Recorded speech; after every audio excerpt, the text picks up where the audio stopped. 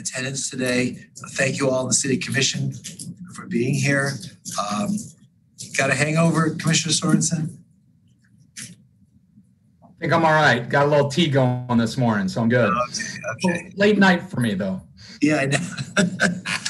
We, uh, we inaugurated a new restaurant that opened in Fort Lauderdale called Salt Seven last night. And, uh, Was it? it's really great. Good. It's an amazing restaurant, amazing location. Uh, um, you know, being in the middle of an urban environment is that there's always going to be a challenge as far as, uh, um, you know, noise issues and so forth. But I thought they were very, very respectful last night. They turned the noise, you know, the music was down, but it was, it was, it was packed with a lot of people. So, we, we doing better back there? No, we can hear the but We were just can't saying hear we you. can't hear him. You're better off. All right, so we'll have, yeah, with the back of the room talking, we can't hear the mayor, so we'll- let's just let the mayor keep going and we'll figure out how to get sound to the back of the room. Okay. So, um, has the, has the video begun? When is the recording? Yeah, start the recording. Recording in progress. Great. Good morning, everybody. Good morning to the City Commission, uh, uh, Goal Setting Workshop, uh, this January 29th, 2021, 21, wow. Um, just a couple of announcements. Uh, this City of Fort Lauderdale, uh, uh, Commission meeting is going to be held both in a virtual and in-person format. The public will be able to listen to and view this meeting at www.fortlauderdale.gov forward slash FLTV, uh, www.youtube.com forward slash City of Fort Lauderdale, all spelled out, as well as on uh, our typical uh, TV channels, Channel 78 and AT&T Uverse Channel 99. Uh, There'll be no, uh, um, there'll be no public participation, although the public is certainly invited and welcome to, uh, to listen in and to hear the the thoughts, listen in and hear exchange. Rufus, you gotta unmute, your- you gotta mute yourself. Okay, uh, and to listen to the exchange of ideas that will be taking place here uh, in this, in this uh, workshop. So um, we have an agenda in front of us and uh, um, and so let us begin. Uh, It's now nine ten, perfect timing. Uh, So twenty twenty commission priorities, accomplishments and successes. Uh, Mr. Lagerbloom? Mayor, yes, I'll start this morning. Good morning, everybody. Good morning, Commissioner, and uh, good morning to our uh, staff here today in, in, uh, City Hall.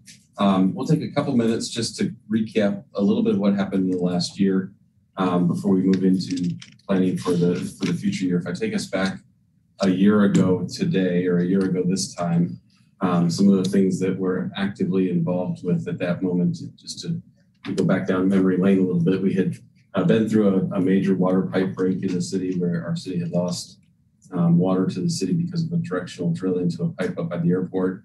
We were right in the middle of some pretty massive sewer pipe breaks um, in January of last year. We were just getting ready um, to uh, have the, the first ever soccer game in our new stadium. That was ramping up as we were uh, moving uh, through January. We were getting ready for a St. Patrick's Day parade. Um, we were on the heels of a hurricane um, deployment for Dorian and Isaias.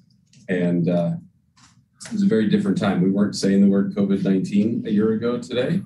And so, as I put into perspective some of the things that we did in the last year, um, it's just with the lens that all those things were, that kind of puts us back into the moment back in January of, of last year. Some of the commission priorities that I want you to report on, um, starting with homelessness and, and housing opportunities.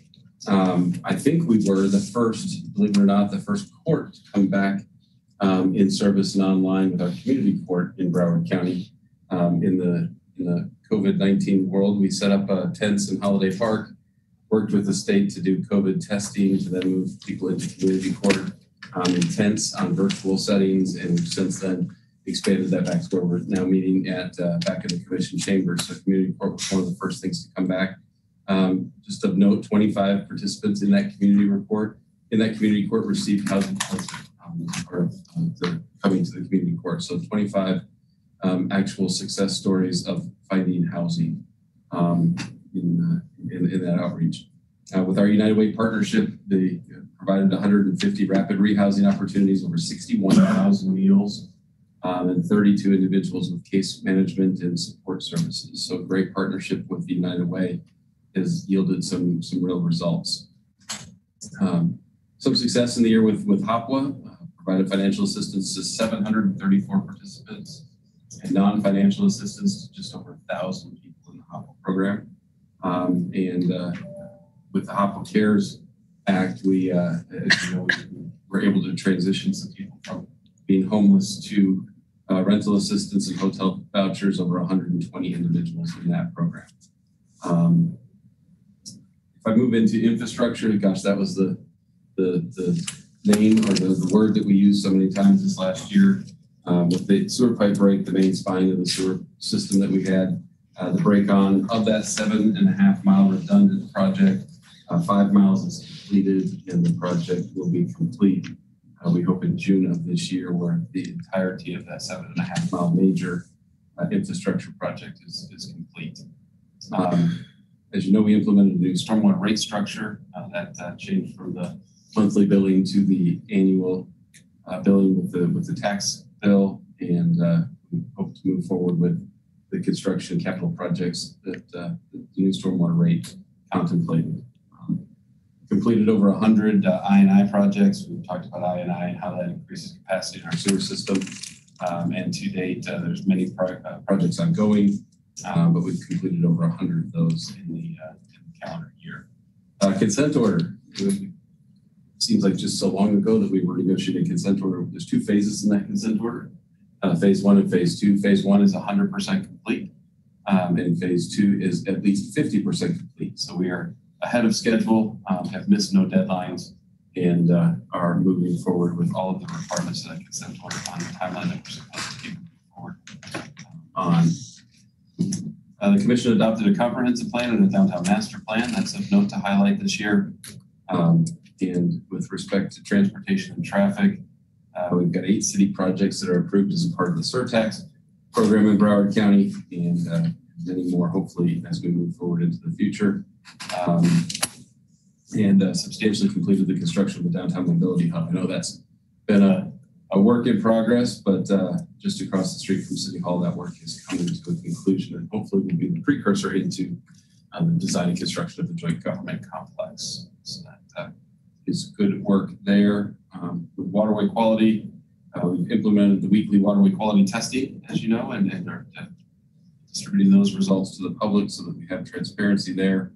Um, and uh, we amended our ordinance limiting the use of fertilizer during the rainy season um, and additional focus on water quality. I'm sure we'll be talking about it today.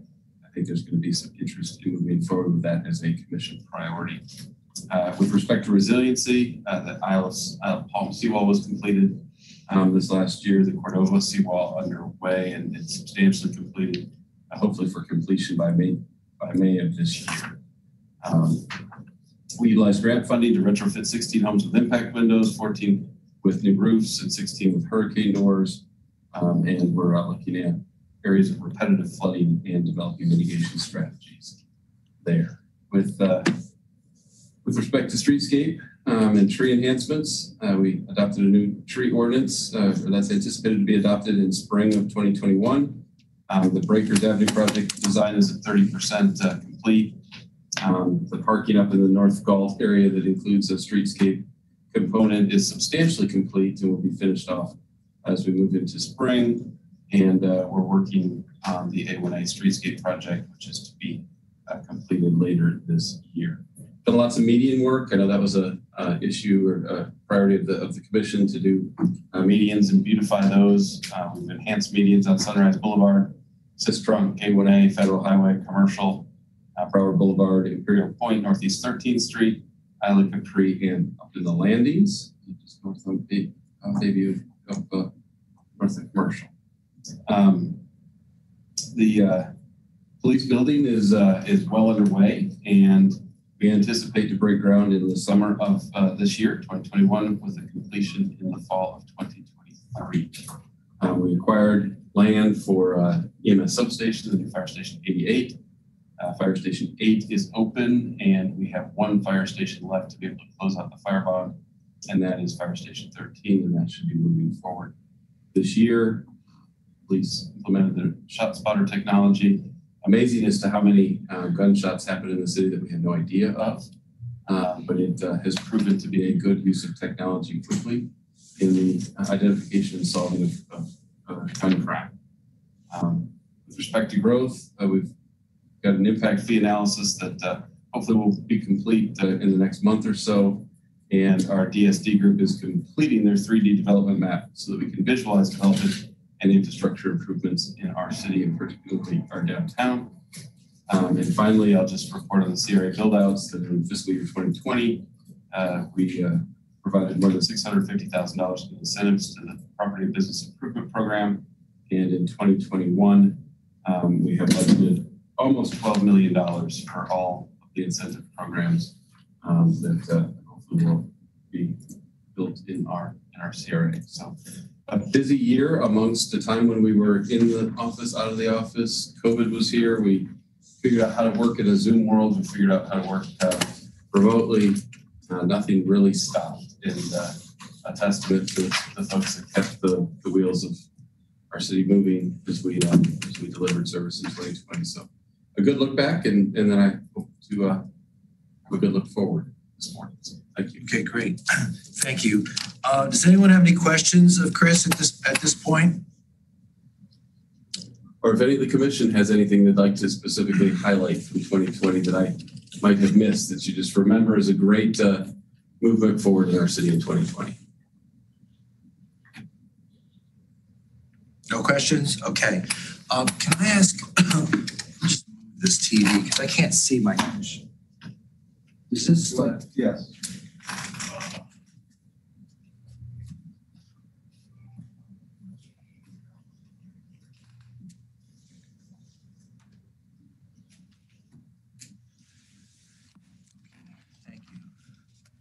Um, okay, so uh, I have a couple of comments with regard to several of the items that you brought up.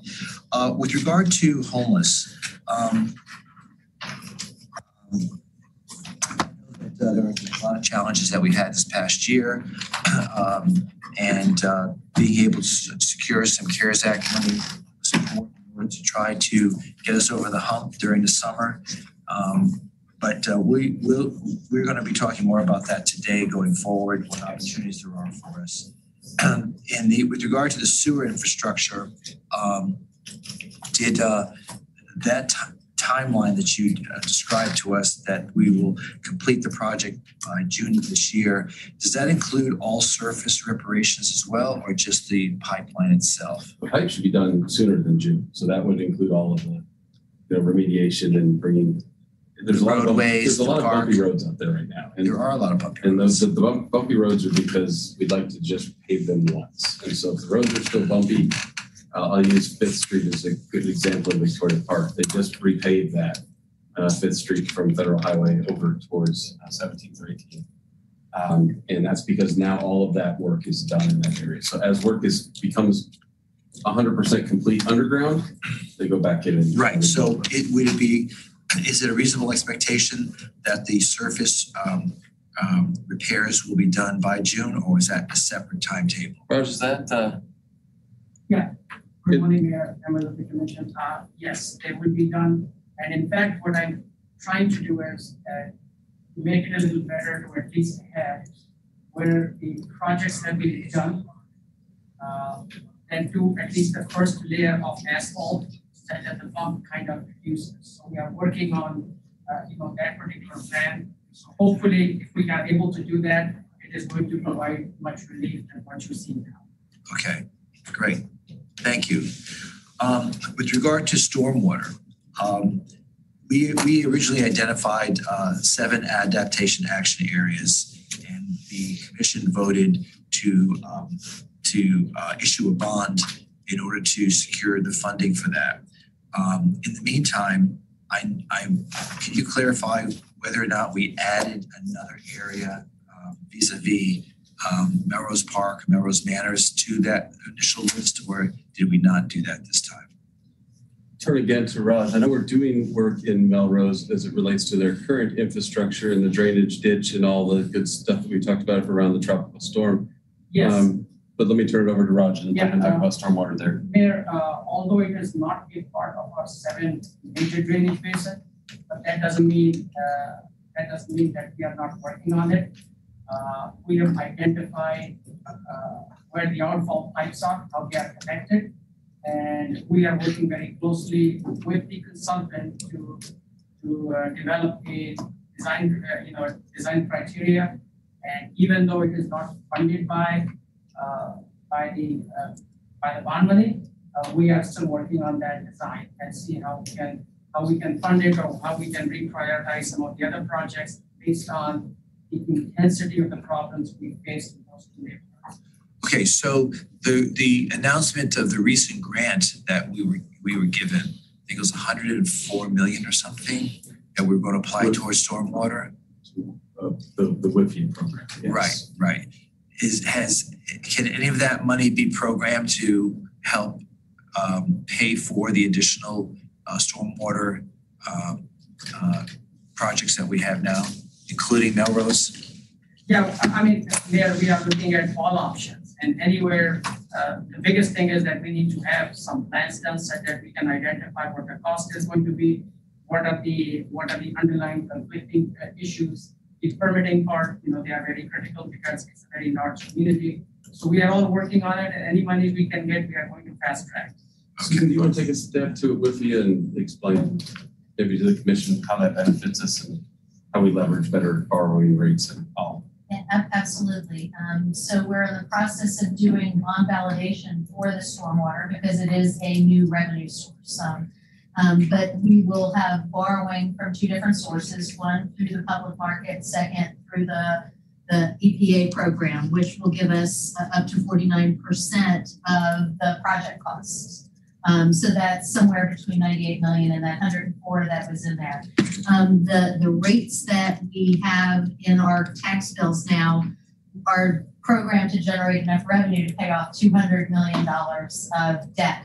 Um, so to the extent, as Raj says, that we need to find out how much everything costs. And if things, you know, something costs less, then there's more money in there. So we have, we'll have two hundred million available for the projects and how they divvy it up is, is, it's all good. Okay, all right, thank you. Um, you made mention of the consent order. Now, that consent order, I believe, was entered into in twenty sixteen, if I'm not mistaken. Uh, seventeen. 17. So we had 10 years in which to complete the work uh, with, that was contemplated by the consent order. So you're saying there were two phases. The phase one is completely done, and phase two, we're about 50% done. So, so that gives us another five years in which to do it. Do you feel that we can complete the consent order projects well within that five years going forward? Absolutely, and I think we need it done much ahead of schedule. Raj, you want to talk on consent order? Yes, sir. Raj, why don't you just stand up the whole? Yeah, okay, I'll, I'll keep standing there. And absolutely, our goal is to try and finish and just, I mean, one thing I can, you know, I can say, and I can say with confidence, is that I'm not waiting for DEP or any other regulatory agencies to tell us what is the right thing to do.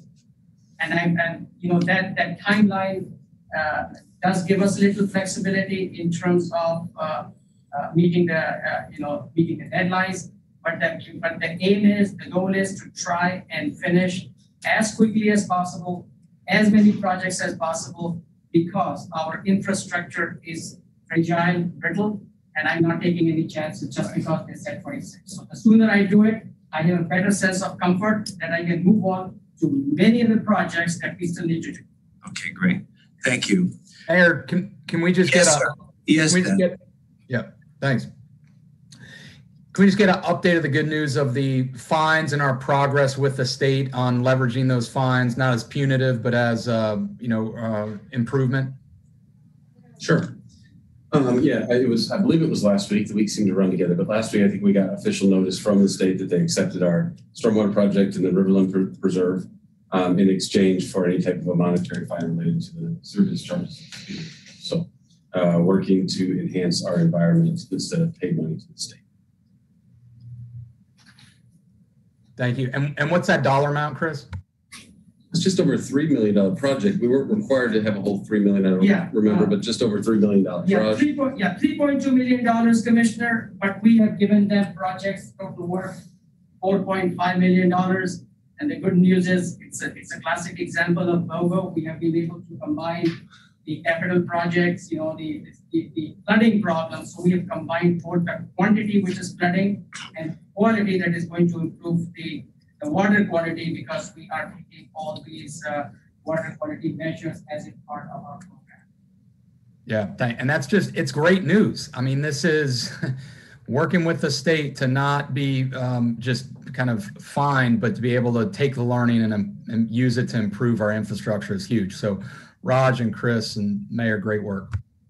Thank you.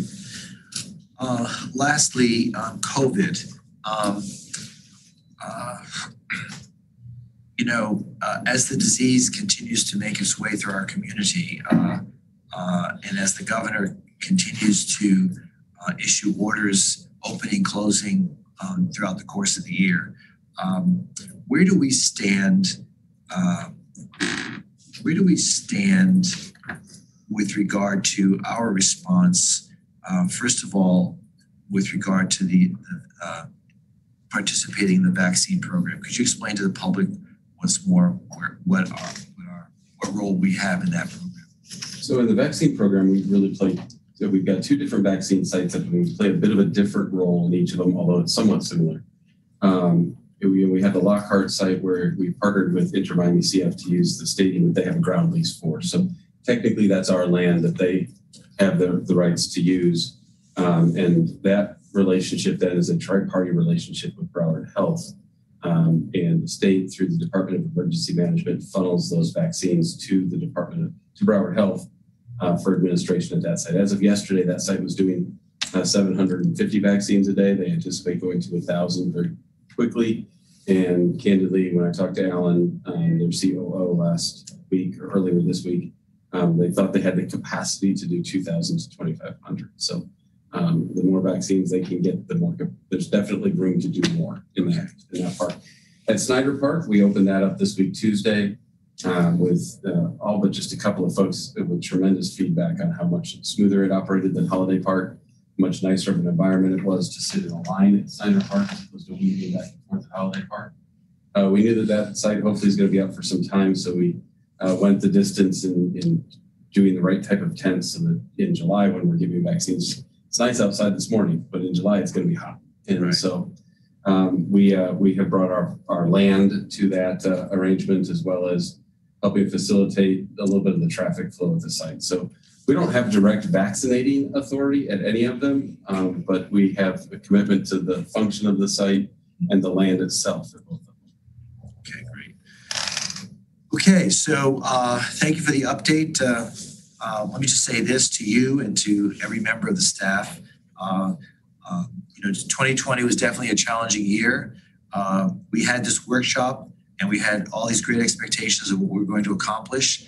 Uh, and oddly, despite the uh, the insurgence of, of the COVID virus and the pandemic in our community, uh, you know, the city staff accomplished a good deal of, of those expectations that we laid out in January. So I want to thank you all for everything that you all did.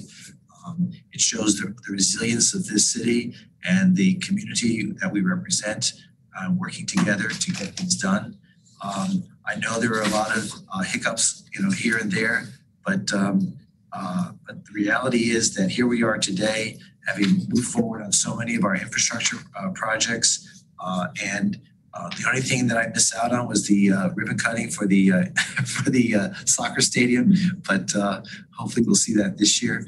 But but seriously, um, um, I'm hoping that today we're going to be able to uh, outline all the things that we hope to accomplish in 2021, and uh, and uh, and I think it's going to be a very exciting year for our community. So so who takes it from here?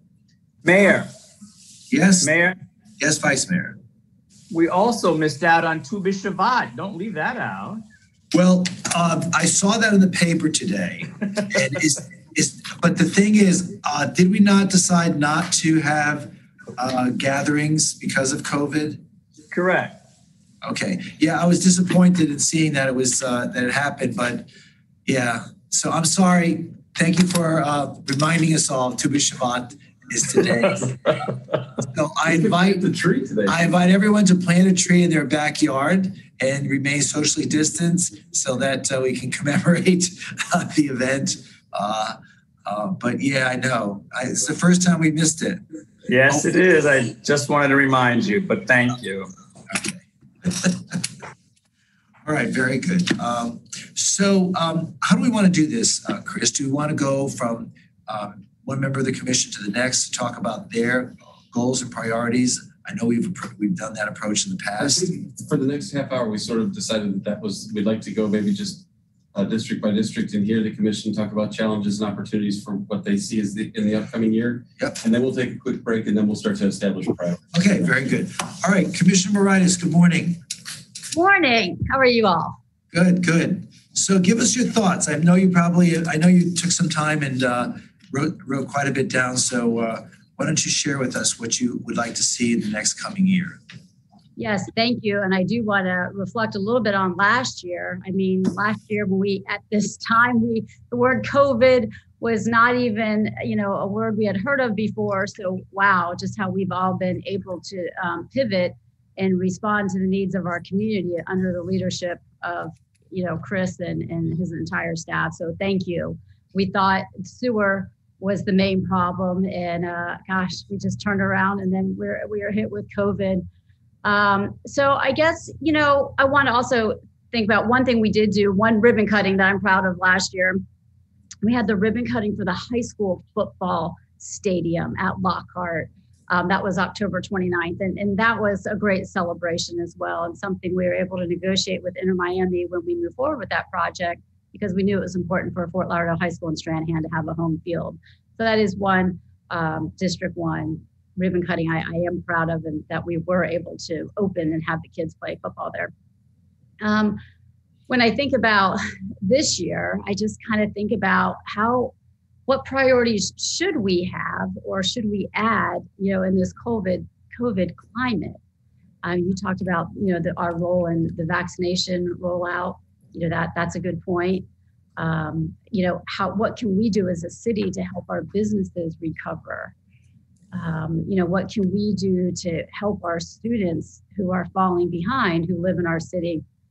Yesterday, Superintendent Runcie spoke at the Broward League of Cities board meeting, and uh, he identified that, uh, you know, last year, 4% of our population had Fs. This year, 11% of our students, you know, have Fs. So the, the learning is definitely suffering and they do have a plan to help with the summer program and i know our city is uh, partnering with them as well so you all may hear a little bit more from Zoe in the future about that. But I do believe as a city, if we have the opportunity to help our residents in all areas, in all ways that we've been affected with COVID, and boy, they're multifaceted, you know, I, I would like us just to keep thinking, how can we help with our, our people who are suffering, our businesses, um, you know, financially, in, in, in every way, really. And that's just kind of a question uh, that we can ask and hopefully identify and keep keep as a priority for us really.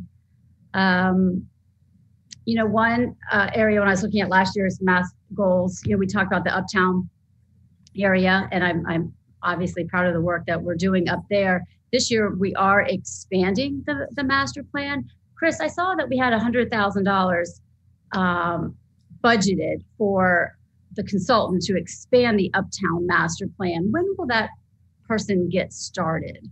Do we know? Let me uh, turn to uh, Chris Cooper here, who's in the room and So I think those funds were just allocated for a budget amendment and we are With, with the budget, adopted budget. adopted budget, I'm sorry. And then um we are working on a report for the scope of that project that we're hoping to release soon and then we can go out and try to get that contract.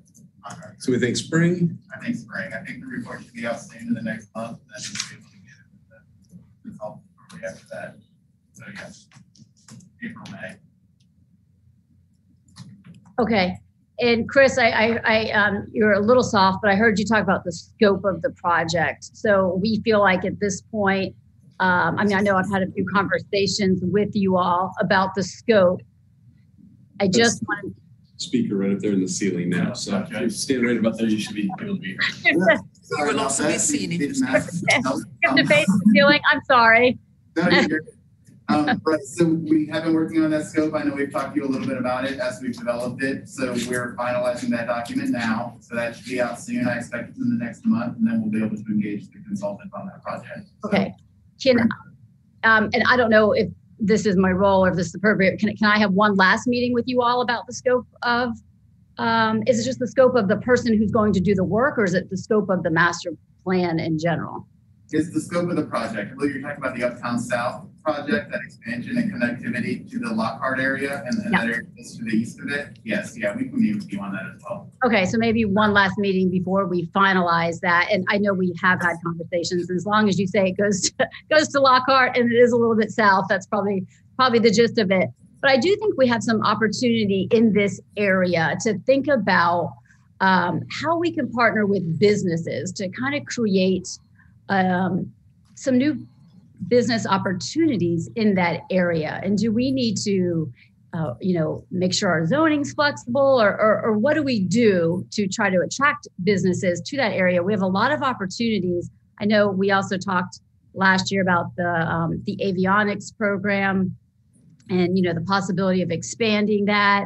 So I would, even though that goes to the community center, Chris, you know, we may want to include some of that if, if we so choose in this master plan, because that's a really unique piece of property with the airport right there and some of the um, businesses that are currently there. And how can we expand to really be um, kind of an incubator up in the uptown area for new businesses?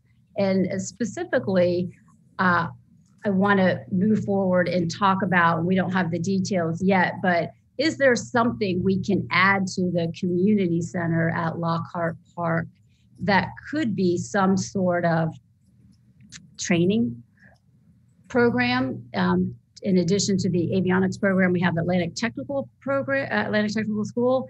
Can we also build out something where there's a industry, uh, jobs of the future, high demand jobs, good paying jobs, specifically maybe career technical around the avionics, aerospace space?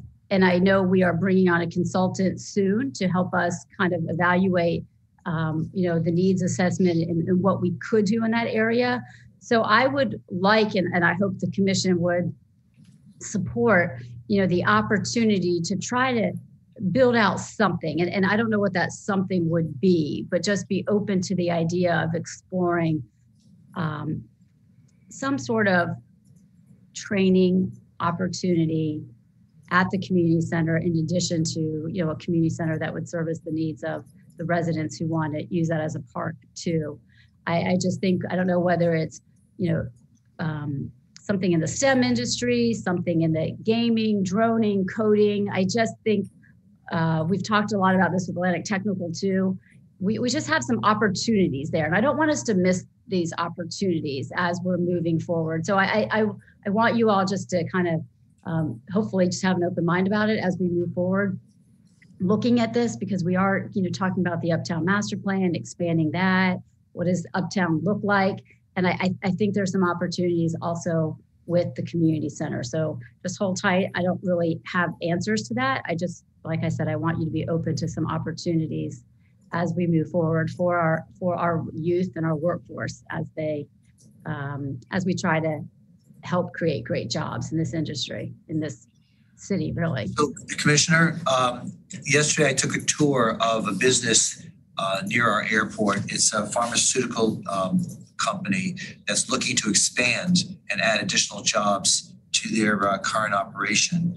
And uh, so there's a there's a uh, an unknown entity that you know isn't normally on one's radar, but they've been in business there for 10 years and uh, and are looking to expand, adding another two dozen jobs to their existing um, uh, payroll. So, so there, are, so there are a lot of different things that are happening, not just in select industries, but in, in a whole variety of industries that we we want to continue to foster, especially since uh, the manufacturing of pharmaceuticals is a clean industry, and uh, it certainly provides a lot of uh, technical skills for individuals who work in that industry. Yeah, thank you for for mentioning that. And I don't know if it's Trividia that you're talking about, but we do have Trividia out there as well, and they're a global company in Uptown. You know, we have Microsoft, we have Citrix, we have global companies in Uptown. So so whatever we can do and and how we can, I just think that whole Uptown area, as we talk about the master plan, I know our previous master plan was a little bit more, you know, the 2,000 residential units. I want to I want to really talk about you know business opportunities um, up there and how we can just create this this um, just create some more opportunities. So thank you for that, uh, Mayor. Yes, that pharmaceutical company and, and like I said, Trividia produces a lot of um, pharmaceutical supplies as well thr- throughout the world, and, and they're up there. Uh, so that's uptown. I think we have a lot of opportunity there. I know we we talk about our downtown master plan a lot, and there are of course opportunities along Broward, but so I'll keep focusing on that obviously this year i'd like to see um, sometime hopefully maybe in the next six to eight months the community center should be and park should be fully vetted by the community and we should it should be designed and we should be ready to bring it to you all um, so i would say by the end of 2021 this year one of my goals would be the final design of the community center and the final design of the park and how we move forward with that. So, um, so commission, just so you all know, by you know, we do have a um, a comprehensive agreement with Inter Miami, and um, part of that comprehensive agreement says that the the park will be built um, um, next by next summer. So we kind of have by 2022 next summer, that park will be kind of built. So we really do need to, this is the year that we have to make decisions and start moving forward. So uh, I've been working with AECOM and they're getting ready and staff as well. And so you should, uh, they're going to do some more community outreach and then we'll bring it back to the commission, I'm assuming, Chris. And then you all will see the final plan to see if you like it, or maybe we bring it to you earlier so you, you get some input.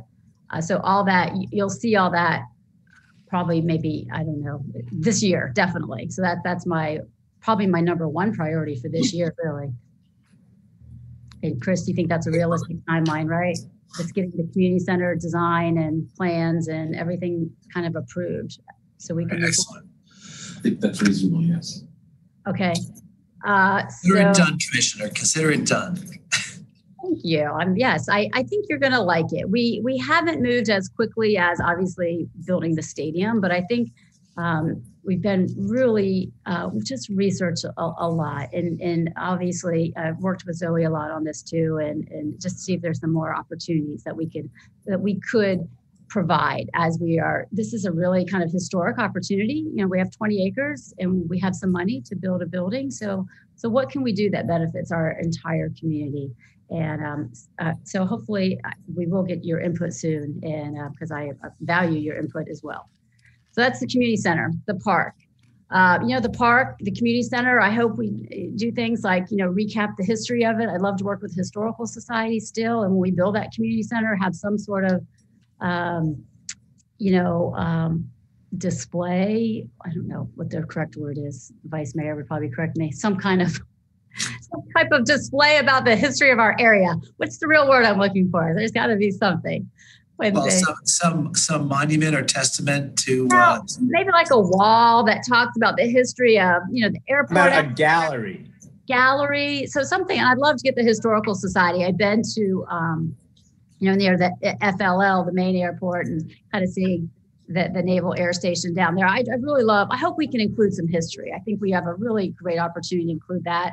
Also, when we talk about the park, I'd like something a little bit more iconic than just a, a park with fields. I'd love to have some kind of orchid garden, butterfly garden, really kind of bring in our gardening community and make this just a beautiful space because I successfully kill every orchid I try to grow in my backyard. I'm going to join the orchid club this year. That's that's a personal goal. I want to, but I think I would love to have just when we build this park. I, I want it to be a little bit more iconic. I want it to have history. I want it to have some beauty. I want it to, uh, like I said, have some gardens. What gardens could could we build? You know, you go to Flamingo Gardens or Morikami Gardens and or beautiful gardens on Miami. What can we bring to Fort Lauderdale so people would actually go there? and kind of stroll around and, and, and we have, like I said, we have land and we have opportunity. So, so keep thinking with me. The last thing I'd like to focus on is um, our trail system. I'm super excited that Ben and I are, you know, working on this together. And I, um, once again, I, I want, tr- I don't really want bike lanes. I want trails. I want a trail that I'm not going to get hit by a car when I'm on this trail. Uh, so protected, some trails. There are so many examples of amazing trails throughout our country and state that I know we can we can just find this great um, pathway where this trail will be built. And so I'm excited. We're moving forward with the Path Foundation. So another goal of mine would be by the end of 2021, we just we design or we at least identify and we all agree that this is a good opportunity. Maybe it's not funded, maybe we don't move forward with all of it this year, but we at least like the possibility and we like the opportunity that they'll bring to us. So I think we're going to see a trail design by the Path Foundation. I think the community center is going to be designed and get ready to be built, but at least be designed. And like I said, I'd like to have those elements with the history and, and, and some kind of gardens and some kind of career technical opportunities. That's all I ask for in this 20 acres. Uh, not a lot. And um, once again, just being very sensitive about what should we do as a city to help our entire city, who all of our people, places, businesses who, who have suffered during during COVID. You know, what what policies can can we create? So I think Sure. that's what I'm focusing on. So thank you. Commissioner, would you consider adding any more uh, sporting activities to the park area? You mean like a pickleball co- tournament? Well, I'm not saying any particular, I'm not gonna either, I'm not saying whether it's pickleball, uh, uh, could be, you know, skateboarding. Uh, you know, it is an Olympic sport. So, you know, we, some people have said, you know, can we build a half pipe? Doesn't take, you know, more than a half an acre. Uh, it's just stuff like that. I mean, something to, to add to these uh, family-friendly sporting opportunities that we already have in the city. Um, I think Holiday Park is kind of tapped out right now. I don't know where else we would put something like that, but just something to consider as we're trying to activate and program the open space. Um, Yeah. 20 acre open space is kind of big. Um, so I'm just thinking if we could add to it, you know, something that we could program, uh, that would be a very family friendly kind of enterprise. Just something to think about when you, you know, bring it back to your community. And I, I appreciate that. And obviously a half acre is, is definitely something we can consider. When we did our community outreach uh, for the first year, the, the design elements that are currently in this space that you all saw over a year ago would be kickball, two big multi-purpose fields, dog park, walking parks, splash pad, and and some um, and then and then parking in a building. So believe it or not, there's really not that much space. I mean, we could we have some carve outs, maybe if it's a garden or something interesting we could do. But after, like I said, we got the community outreach and we did this. Um, there wasn't a lot of space left, and it, it was um, definitely um, functional for multi generations. You know, like grandkids could take their kids, and there were some opportunities if you know someone was doing something inside, then other family members could be doing something outside. So we wanted to have a food truck area as well. So if you're sitting out there, uh, maybe a place for music on the porch, you know, of the community center. So we will certainly, I, I love your input and feedback as long as it's not all 20 acres. But, um, you know, and I know that the skate park you brought up before, and I, I do want to research. I'll, I'll maybe ask uh, Lauren to look into it a little bit more and see if the skate park at Calvary is open to the public, because that is right across the street. Um, but I do like a skate park. I, I mean, I've taken my nephews to skate park, so I, and they're not that big. So I do think that's somewhat of a opportunity. It, you know, it, would- it would be, do we get rid of a kickball field and instead put a skate park in there? You know, we just have to kind of say, what do we give up? I, I really like the dog park because I think, because I, I like my, I'd like to take my two dogs there. And I know a lot of other neighbors would like to as well.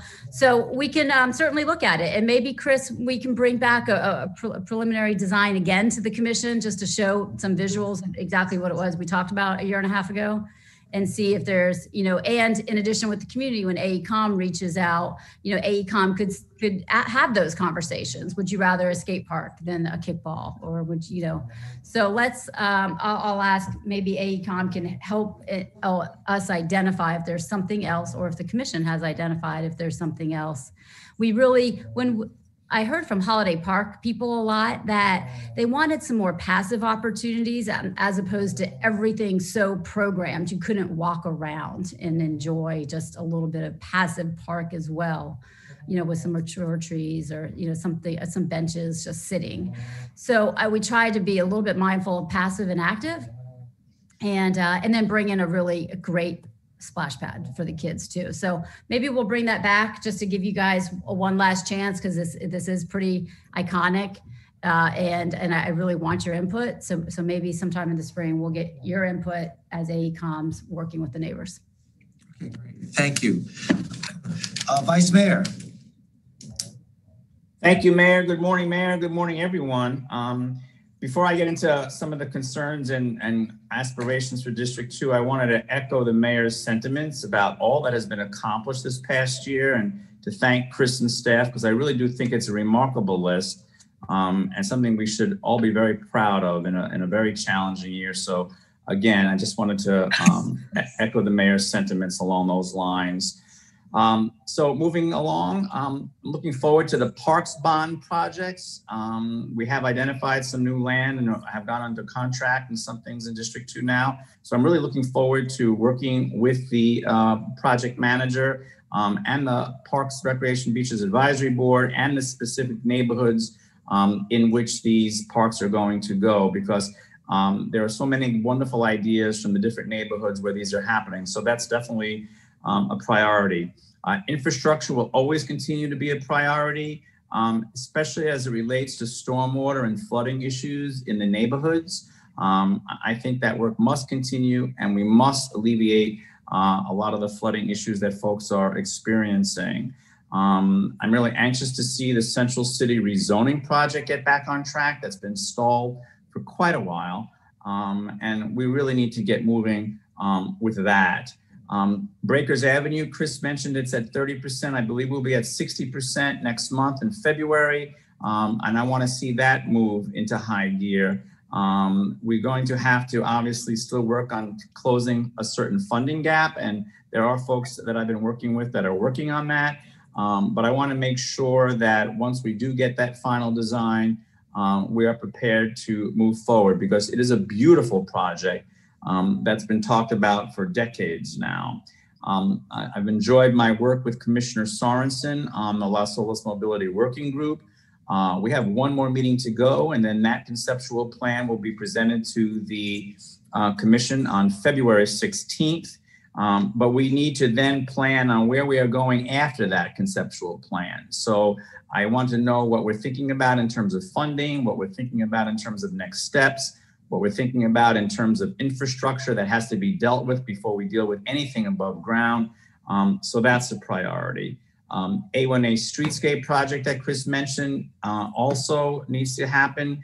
Um, and the aquatic center is moving forward. And I know that we also have uh, an unsolicited proposal in front of us for the east and west buildings. So I'd like to see that peninsula uh, get up and running because the longer it takes, the more we lose out on many, many um, national uh, meets that are uh, uh, in the hopper right now. And I want to make sure that we're able to take advantage of many of these um, that are coming on the calendar. Um, Holiday Park, um, now that the Panthers are going to get moving, that's obviously a priority with War Memorial Auditorium uh, and also the work that's going on with Parker Playhouse. And it gives us great opportunities to make a beautiful entrance um, off of Federal Highway, which I think we definitely need to do um, just to really enhance that entranceway. Um, I agree with Commissioner Moraitis uh, and also the mayor saying that there's so much going on in that park. We do need to concentrate also on letting people just have some passive areas um, as well. But uh, everything that's happening by that entrance uh, with Parker Playhouse, War Memorial Auditorium, and the proposed YMCA right on the street, that is a lot that needs to be coordinated. And we need to figure out exactly what we're doing with the garage uh, proposals that are happening there. So I really want to see all that happen um, this coming year as well. Um, I still hear a lot from different neighborhoods in the district about sidewalk repair, complete streets. So that's something that I'd like to see happen. Um, folks along the Isles in Las Olas, this has uh, come up at my uh, at the Las Olas Mobility Working Group with Commissioner Sorensen, are very anxious to see uh, some sort of EMS station because the response times are not acceptable for that part of the district. Um, and I do know in talking to some development uh, opportunities, some developers, uh, that looks like that might actually be able to happen with some future projects. So I'm very excited about that and, and, and continue to want to work on something like that as well. Um, we have done some good co- code compliance um, processes. Um, we did a real nice sweep in Sailboat Bend last week uh, with about 40 or 50 citations, I believe. Um, I want to see that kind of code compliance um, sweep happen in a lot of the neighborhoods. I think that we need to continue our beautification work. Chris mentioned the medians, but I think there's so much more that we can do um, in terms of enhancements and beautifications and streetscape um, to really help improve um, the aesthetics of all of our neighborhoods, not just um, the ones in District 2, but I especially want to see that happen uh, and continue to happen in the Central City neighborhoods as well as Sailboat Bend. Um, my number one complaint that we always get uh, is streetlights being out. I don't know why that's so difficult. I a lot of it is FPL, but um, I cannot tell you how many times we hear from residents about it's dark, the streetlights aren't working, what's going on, um, and they all, of course, think it's the city's fault. So um, I just think that that's something we have to take a look at. Um, I was also going to mention, so, but uh, Commissioner Moraitis already mentioned it. I agree. We need to think of um, post-COVID, uh, what are we doing in terms of businesses and um, making sure that um, the assistance is there and businesses are back up and running. That's very, very important to our economy. Um, another item, um, this past year, we did do a nice agreement with Bennett Elementary for shared use of the playground. Um, I think that that's something we need to continue to work on with the school board. Uh, so many playgrounds that after school could be used for the neighborhood in which they are. Uh, I think uh, that's important to continue to work on as well. Um, and then our waterways uh, also needs to be a priority. We've all mentioned that before. We've started to work on that, um, but we must do all that we can uh, as the Venice of America to make sure that our waterways are pristine um, and wildlife is fine and the vegetation is fine and people can use the waterways uh, in a safe and secure manner. Um, that's pretty much it for me, Mayor. Okay. One second. I'm still, still writing this down. What, Tu B'Shevat? How do you spell that? T U B I know, apostrophe S H E V A T. Okay, um. Um, okay, we're at ten o'clock and we're scheduled for a break at this time. Do you want to keep going till we get all the commissioners uh, having said their priorities and then take the break? Does that make sense to everybody? Going. Yeah. Yeah. Okay, so Yeah. Commissioner, Commissioner McKenzie.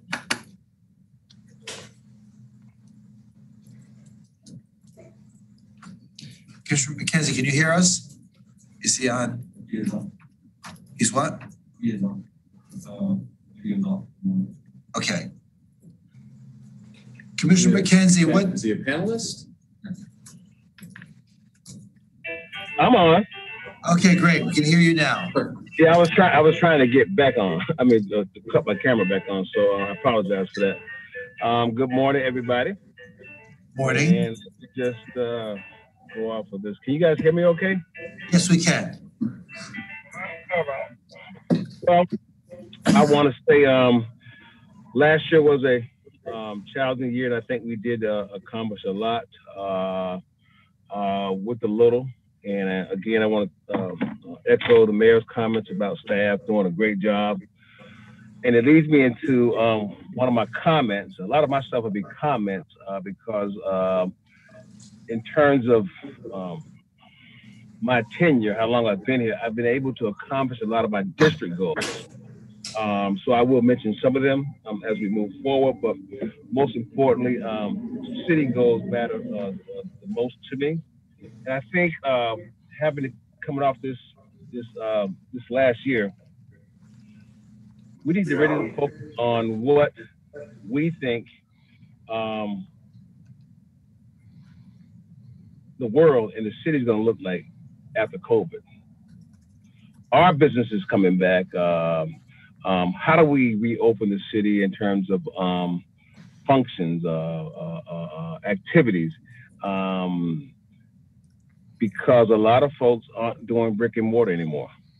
Um, so I really want staff and, and us as a commission just to pay attention. I think we all are aware of it, but I want it to be part of our our, our goal setting, um, just in, in case, uh, um, you know, we don't get all these things that we're that we're hoping and praying for.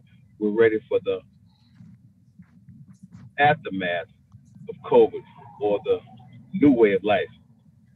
Um, secondly, um, um,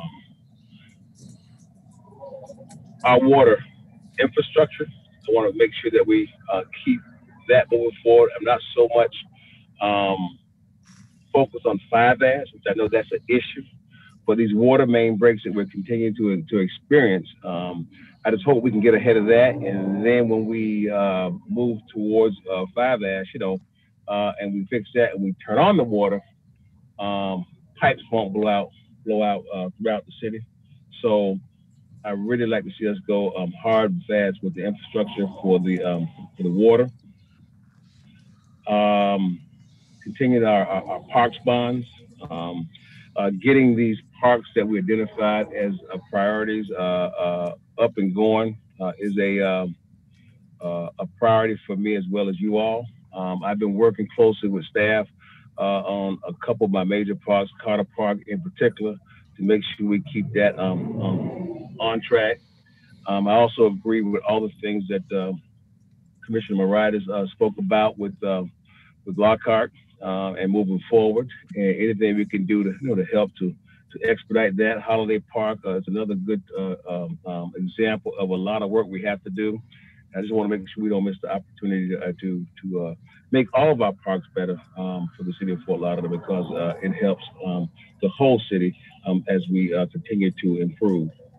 The Joint City Hall project, uh, to me, um, um I want to make sure we stay, you know, um, on track with that. And I'm sure I'm just echoing what all of you are thinking. I'm just putting some ideas out there so that we can, when we do get together uh, after break, um, we continue on these uh, these projects. I may not be here uh, when this happens uh, because having the experience um, um, mayor that we have in terms of uh, tenure, um, sometimes some of your projects won't happen on your watch. You had an opportunity to come back twice and now a third time in a different capacity, but you'll see a lot more than any of us could ever imagine.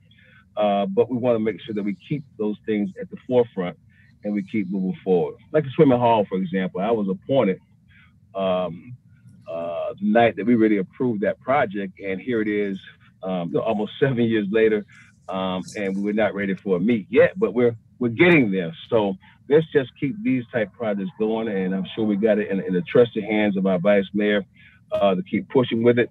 Let's just keep that momentum going. It is important to all, and, and more important to the city as, as a whole. Um, you mentioned earlier, Mayor, about Melrose, and I want to make sure when we talk about Melrose, we we kind of distinguish there's two parts of it Melrose Park, Melrose Manors. Melrose Park had a um, uh, issue with the drainage. So now we're improving the current drainage that they had. Melrose Manors never had any drains for water to drain at all.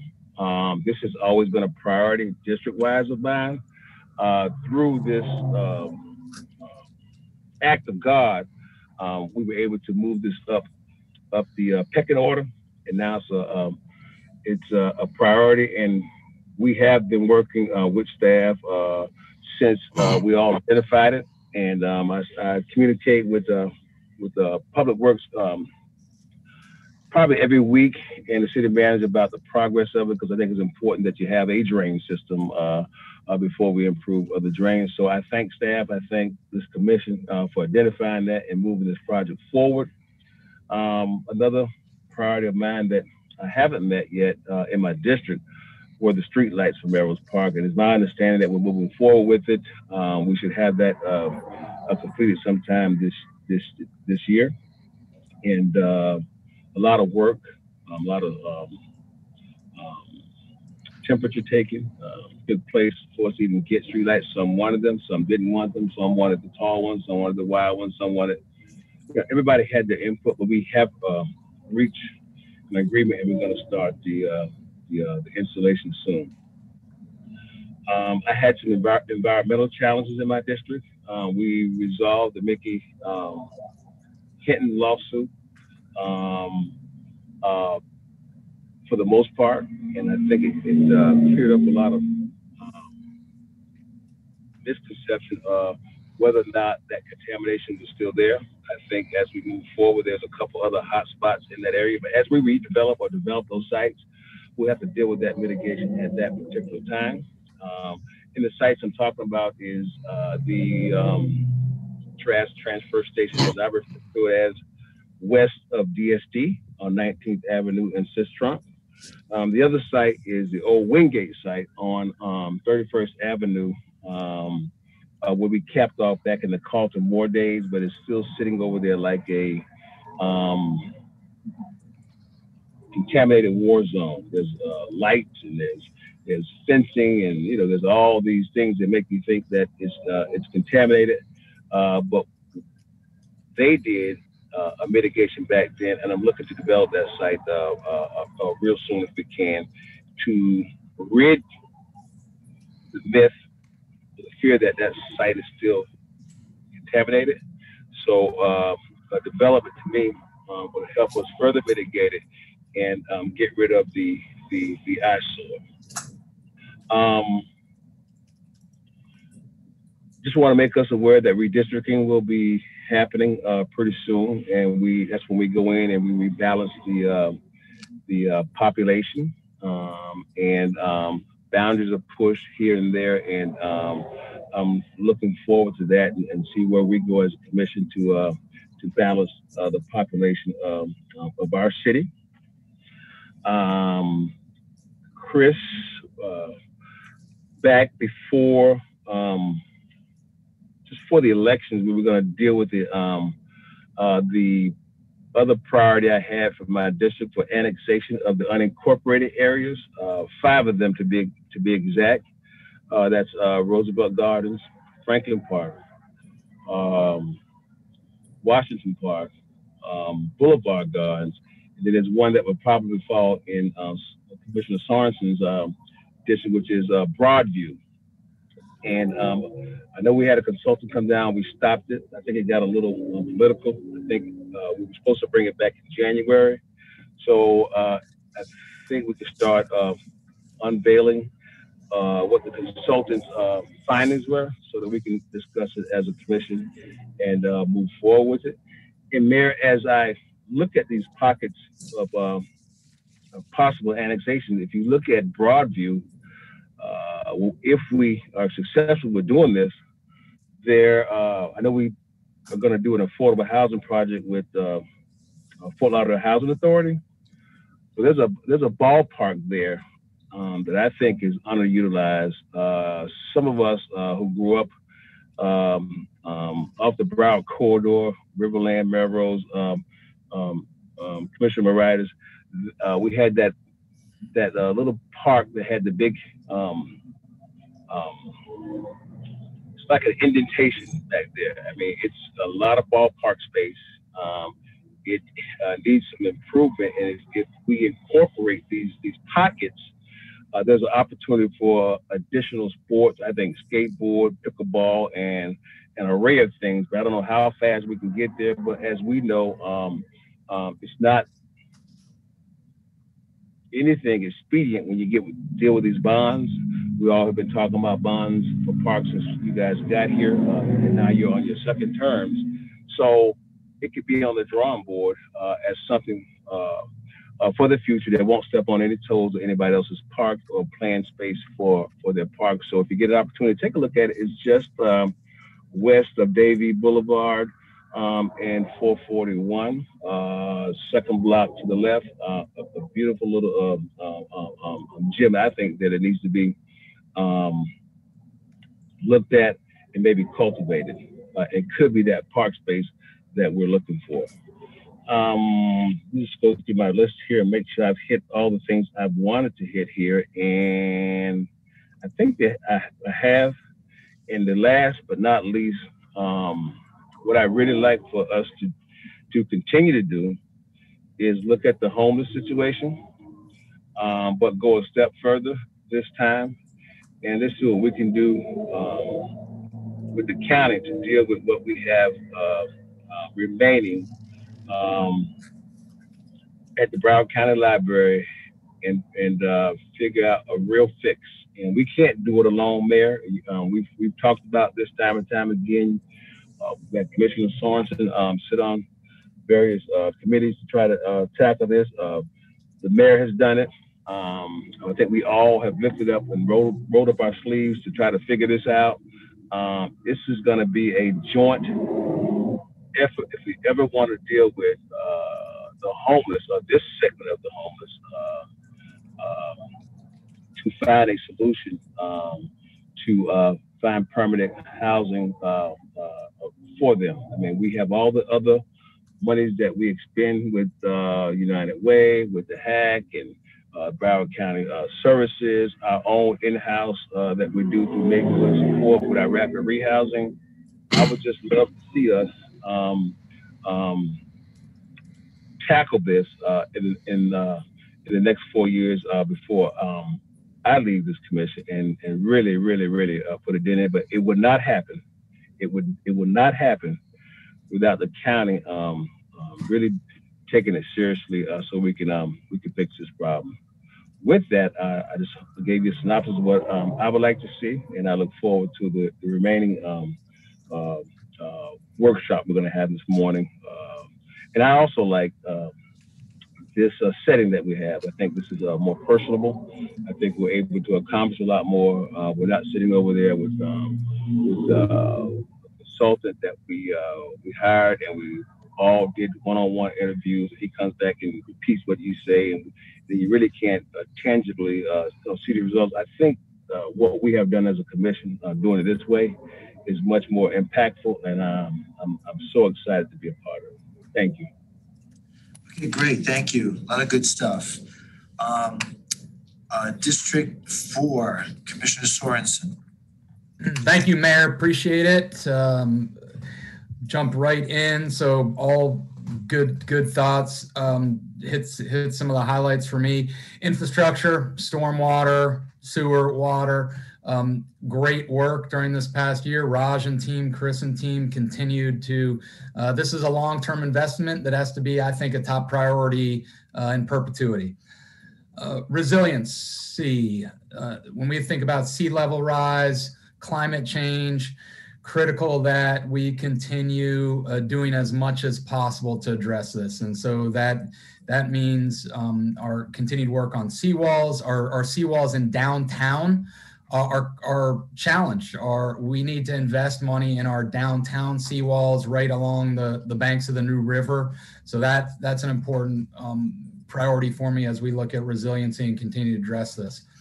Water quality, third one. Um, water quality testing, again, phenomenal work uh, in partnering with the water keepers, continuing to grow and expand that. I was just named mayor to the Broward County Water Advisory Board. Oh. Congratulations. Yeah, thank you. So it's um, um, the Broward League of Cities um, and, and, and President Tracy Kalari. So I'm, I'm, excited about that. This is a big, important um, priority for me. So uh, continue to expand that and being innovative no reason Fort Lauderdale cannot be the most innovative city in the world around waterway quality improvement testing and so forth. So excited about that. Fourth, homelessness and, and housing. Uh, uh, Commissioner McKenzie, I think, nailed it. And and and we are working day in and day out with county and our staff has been working really closely with them and i just had a coc board meeting yesterday so we got some really good ideas and plans that are already rolling forward. Uh, Greg Chevrier, our assistant city manager, is doing a great job helping lead that effort. So um, we, we, got some good stuff coming uh, forward to the commission that I think is going to be very positive in that. Um, we got uh, affordable and workforce housing. This is vital to our city. When we talk about businesses, when we talk about helping businesses, when we talk about education, which are both so important, we've got to have housing for these folks that so that employers can attract employees. They can live uh, with with with living wages uh, affordably in, in the city of Fort Lauderdale. So that's really important to me. I think uh, continues need to be important. And and one update there, Mayor, just want to get share with you and and, and the commission is we continue, Senator Rich, myself, uh, Rebecca McGuire, the county continue to have very good outreach to other municipalities to ask and encourage engagement in homelessness, supporting not only financially, but from a service and law enforcement standpoint. So we're engaging Davie. We've got great support with their law enforcement. We're working on their town leaders. Plantation, uh, great engagement with law enforcement, working on the town leaders. Pembroke Pines, working on Miramar, Lauderhill, Lauderdale Lakes, Hollywood, and Pompano. Um, so we're all we're fully engaged with the county, with those municipalities to uh, to engage and support around homelessness, and and uh, I'll keep you all updated as we get more to that. Transportation and traffic. Um, you know, uh, serving on on with uh, Vice Mayor on Las Olas Mobility. Very excited about where we're heading for that. Um, the progress we're making there, and and and the next big question is going to be funding. So we I, I want to, you know, that's going to be a, a, big dollar amount, and so we've got to be very creative and, and innovative around that. Uh, with uh, Commissioner Moraitis, Lauder Trail, it's exciting. I think this is going to be uh, the future of where we're going as a city in terms of mobility uh, under this transportation uh, component. The tunnel mayor, I think you've been doing a phenomenal job advocating for the tunnel, exploring that possibility uh, to go under the new river. And uh, I think there's real opportunity there, especially when we think about Coastal Link and Brightline and, and moving folks around our region to further spur economic development. Again, it's a business economic driver by having good transportation and the, the ease of, of moving around. Um, uh, two last things smart growth um, can, i think we've done a really good job. We're, we're choosing the right projects i think. We're holding developers accountable to invest in our infrastructure. We're saying no you have to invest in sewer stormwater. So i just think collectively each of us is uh, just i'm really proud of that work and saying no to bad projects. And and kudos to Alain uh, and the whole legal team for standing up for the city and standing up for neighbors and saying we're not going to be bullied around. We're going to say no to bad projects and the courts have supported us in that. And i'm just i'm proud of that. And then the last piece i, I kind of put it as this bucket of equality fairness and justice this is something you know it falls along the lines of kind of to create a more perfect union. And it, it's it's something we should always be striving for. I think we've made good strides in that and we have to continue to strive towards that um, as as a city commission as a city um, with our hiring processes how we treat others our ordinance and so forth. Um, and how we respond and respect to each other. And and the last piece is I'm just so proud of the city. I'm proud of Chris and the city staff have done an amazing job. Department heads and their department leaderships. None of this would be possible without the amazing work we have. And it's just day in day out from uh, everyone that's on the streets to in offices, wherever they may be working on this. I'm, I'm very proud of that. And lastly, I'm just proud of us as a commission, how we work together, how we share ideas, different perspectives, and we strive to come together uh, because I know we each have in, in our hearts the best of intentions to, to serve the people of Fort Lauderdale. Thank you, Mayor. Great. Thank you so much, Commissioner. um, um, it certainly uh, gives us a lot to think about over the next year. Um, I hope you said goodbye to your wife, uh, Chris, because you're not going to see her next year. Send her a postcard now. Um, so um, everything that's been discussed this morning uh, are all great goals and initiatives. Uh, I know that city staff will try to distill those into uh, some some patterns and some columns that uh, uh, we can then pursue. Um, I just want to add a couple of things, um, maybe repeat emphasis.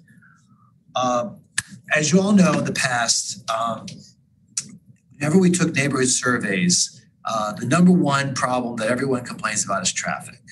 And um, and you know there are there are a lot of band-aid solutions to that, but then there are more holistic solutions. And I think this commission is committed to the holistic uh, solutions, and uh, and that's the only way we're ever going to be able to tackle the issue of, of traffic. Um, this past year, we were we were um, we saw what COVID nineteen had done to uh, lighten up the, vehicular traffic on our roadways. But as the pandemic hopefully subsides in the months ahead and our businesses are able to get back on their feet and people going back to school and um, and our communities returning to a sense of normalcy, uh, we're going to be, we're going to be faced again with um, with vehicular traffic as well as uh, um, uh, as as well as uh, all the other issues that come with uh, people trying to get from point A to point B. So um, I think we should hope to see a, re, a, re, a, return of the scooter program here in Fort Lauderdale during this year. Um, but more importantly, um, you know, I've always identified traffic in Fort Lauderdale from two sources. One is localized traffic, and second is commuter traffic from the suburbs. And um, uh, and so we may have more of a, of an input on what commuter traffic, uh, excuse me, what localized traffic looks like. We don't have much of an input what commuter traffic will look like. That becomes a county uh, issue, and uh, certainly it's, an, it's a subject matter that can be brought up at League of City meetings. But right now, I think in trying to deal with localized traffic, um, uh, we need to think more in terms of trying to uh, build an urban core, one that has uh, diverse opportunities for people to live here, to be able to work here, to be able to go to a grocery store and, and not get out of their cars. Uh, uh, it's really important that uh, that vehicular traffic be reduced to a minimum in our in our city.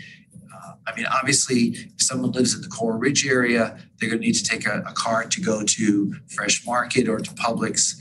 Um, but but within the downtown area, uh, we're doing our best to try to pull in uh, people who uh, who are prepared are willing to um, bring their companies into the downtown so that say we have a grocery store on Andrews Avenue in Flagler Village, another one on Third Avenue in Flagler Village. Um, you know, a lot of developers when they propose their buildings, they always say, "Oh, we got first floor retail," and they give you eight thousand square feet, and you know that's nothing.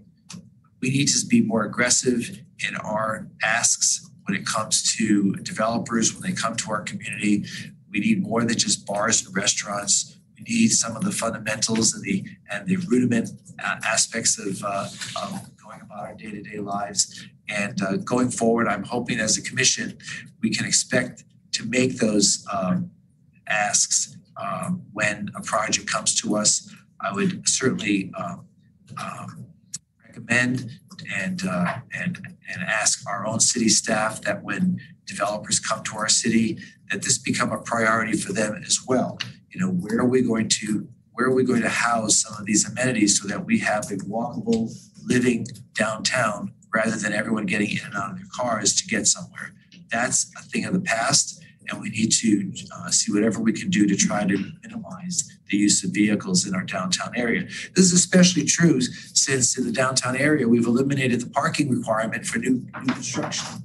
There's, so there's there's no connect. There's no uh, uh, the two the two concepts don't uh, work hand in hand. You can't say we're, we're not going to we're not going to require any uh, have any parking requirement downtown, and yet require every single aspect of your life to be uh, accomplished by getting into your car and going somewhere.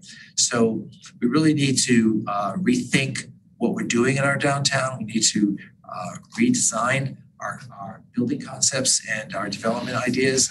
Uh, Commissioner Sorensen talked about smart growth. It's all part of what smart growth should be about. And I think that 2021 should be a uh, an important year in trying to redirect our thoughts and our philosophies going forward. Um, along with the idea of transportation, again, Commissioner Sorensen brought up um, the, the uh, uh, what's going to happen on the railroad tracks. Um, as we all know, that there's there's a move, uh, push a push really to bring a coastal link uh, commuter trail uh, between uh, Miami Dade and West Palm Beach. You know, we've been talking about this for decades. Uh, when I was first a commissioner, as uh, Commissioner McKenzie said, you know, you, I was a commissioner back then, we were talking about a commuter rail. Here we are 15, 18 years later, and we're still talking about it. So, uh, but maybe now we can do something about it. Maybe now something is real is going to happen. We know that the Brightline FEC Railroad folks are very much on board to make this happen. And we also know that it has unintended consequences. Um, you know, the, the lowering of the bridge over the New River, the frustration of traffic going east-west on Broward Sunrise and, and other uh, east-west arteries in our city. Um, was a real challenge for us to think about how we're going to address that. I'm really, really happy that um, the 21st century has uh, made its way into Fort Lauderdale, and now we see there are opportunities to perhaps build a tunnel instead of a bridge uh, through our through our uh, central core to avoid all those traffic tie-ups, not only on the river but also on the roads. Um, uh, this is an important project. I hope the the commission will continue to support this opportunity that we have, especially since we're now finding out that the cost for this may be significantly less than uh, what, were, what was first proposed. Now, keep in mind, there are going to be interests out there that you know who people who build bridges or or um, uh, who have other ideas about how we should deal with uh, uh, deal with the, the commuter rail. But I hope that we can all focus and, and agree that that let's first explore what this tunnel concept could be for us, uh, how it would open up neighborhoods, how it would create green space, how it would end the divide that comes right down the middle of our city and separating people, separating communities, separating cultures. Um, uh, and we've had enough of that. It's time to put that behind us and look forward and see what we can do in the future. Um, so we will continue to pursue that and, uh, and I'll continue to report back to the commission as I find out information uh, so that we can all work collectively on this uh, undertaking. Um, it was touched upon about the government center. That effort continues to move forward. Uh, I think, when, has another uh, joint We meeting scheduled? date yet, but I talked to uh, Mr. Cohen last night. Um, we've got some movement forward that, uh, you know, are pursuing at this point. There's going to be a meeting with KPMG next Tuesday that we'll participate in. Um, but the UDPA has not had a new date set yet, but it'll come after we talk to KPMG next Tuesday. Okay, KPMG is who? That's who's doing the, the finance component, uh, the, kind of the free partner for us that, uh, we both have agreed to hire to, uh, to lead the finance aspect. Right, so they're our consultant. Correct. Right. So, um, so that, that seems to be moving forward. I know the county is eager to, uh, get this done. Uh, the site is still remains there, uh, and, uh, uh, which is the bus station. Uh, and again, that will free up other real estate in our downtown, so there are other exciting opportunities that are starting to materialize. Um, I had a meeting this past week with, uh, uh, County Commissioner Dale Holness, who is bringing to Fort Lauderdale an opportunity. Um, there's an organization called the World Trade Center. Uh, no affiliation with the World Trade Center in New York, but uh, they've had World Trade Center buildings built in other parts of the world, uh, including South America. They want to build a, uh, a World Trade Center in our downtown. They're looking at a, like a 30, 40 story building, which would house uh, trading partners from around the world uh, to focus on uh, opportunities for trade with uh, domestic businesses. And uh, this is a, a great opportunity for the city of Fort Lauderdale. They've skipped other communities to the south and uh, have no interest in communities to the north. So um, we'll continue to work with these folks and to see how we'll be able to, um, you know, find a place for such a building. But but their architectural designs are amazing that they've done in other countries, especially Brazil. And uh, um, so it'd be a really exciting component to adding jobs, adding opportunities, and uh, continuing to make Fort Lauderdale stand out amongst the rest of the world. Uh, federal courthouse, uh, we now have a site for the federal courthouse. It's um, on Third Southeast Third Avenue in 11th Street. Uh, deal deal has been made with the landowner and the federal government, so they're moving forward on that. So uh, that will be the new location for a federal courthouse. I think there'll be some uh, charrette, neighborhood charrettes to, to discuss design and, and site plan. So uh, uh, looking forward to that. Not sure what kind of design the federal government has in mind. They, they say it's gonna be a classical design. Uh, Vice Mayor, do you know what classical design means? Are we gonna have a Parthenon on Eleventh Street? I know, it sounds like that way to me. I don't know. That's exactly what that, that's exactly what that is. Let- If Nashville can have one, we can have one. I So, think we uh, should go for an international design. Well, international, yeah, well, that's, that's a much more, um, uh, uh, has less ornamentation. I know Yes. that, yes. Um, but, but just everyone should keep in mind that, it- you know, I, I, since I became mayor, I became like an ex officio member of the federal courthouse, uh, panel. And, um, uh, uh, there, the federal government does not want its existing building torn down. So this will be an opportunity for us to try to work with developers to see what we can do to reprogram uh, that building and make it an important uh, uh, focal point of our of our emerging downtown. It has a unique brutalist design uh, coupled with some classical elements, and um, uh, you know I, I'd be ashamed if you know we didn't we didn't seize this opportunity and do the right thing on that site. I agree with you, Mayor, excellent. I, I agree not with you what- so much. What's that, Ben? Mayor, that's actually not what GSA is telling me.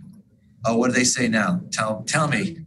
Yeah, the, the latest they're telling me is that, so there's, you know, the opportunity for some form of, um, putting that as, as supply, as, um, excess property. And then there's a process for which various entities, um, are sequentially kind of listed in terms of preference for seeking that, that property. Um, we would be near the top of the list, but, um, they're, they're kind of looking further at that. They, they're comfortable for whatever we would like to use it for, including tearing it down and, and doing some uh, higher, better use of it.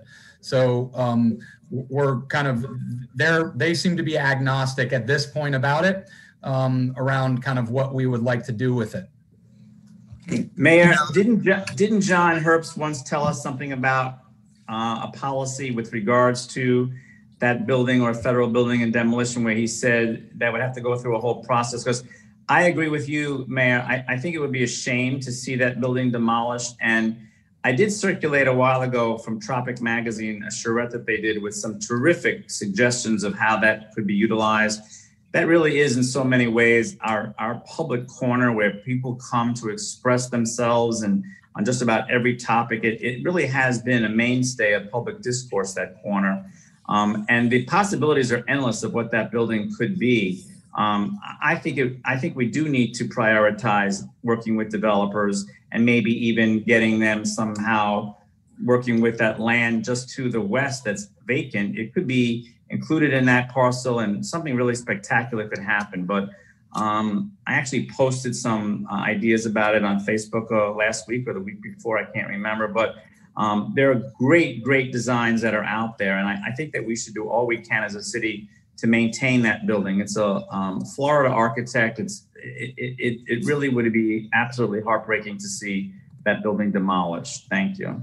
All right. You are correct, Vice Mayor. The, the, um, the guidelines under which GSA operates have to give consideration first to the historic value of the property in terms of any disposition that they look at. So while they may be somewhat agnostic to, to how it's disposed, they are required under, um, under federal law to give consideration to the historic aspects of the building as they go through that.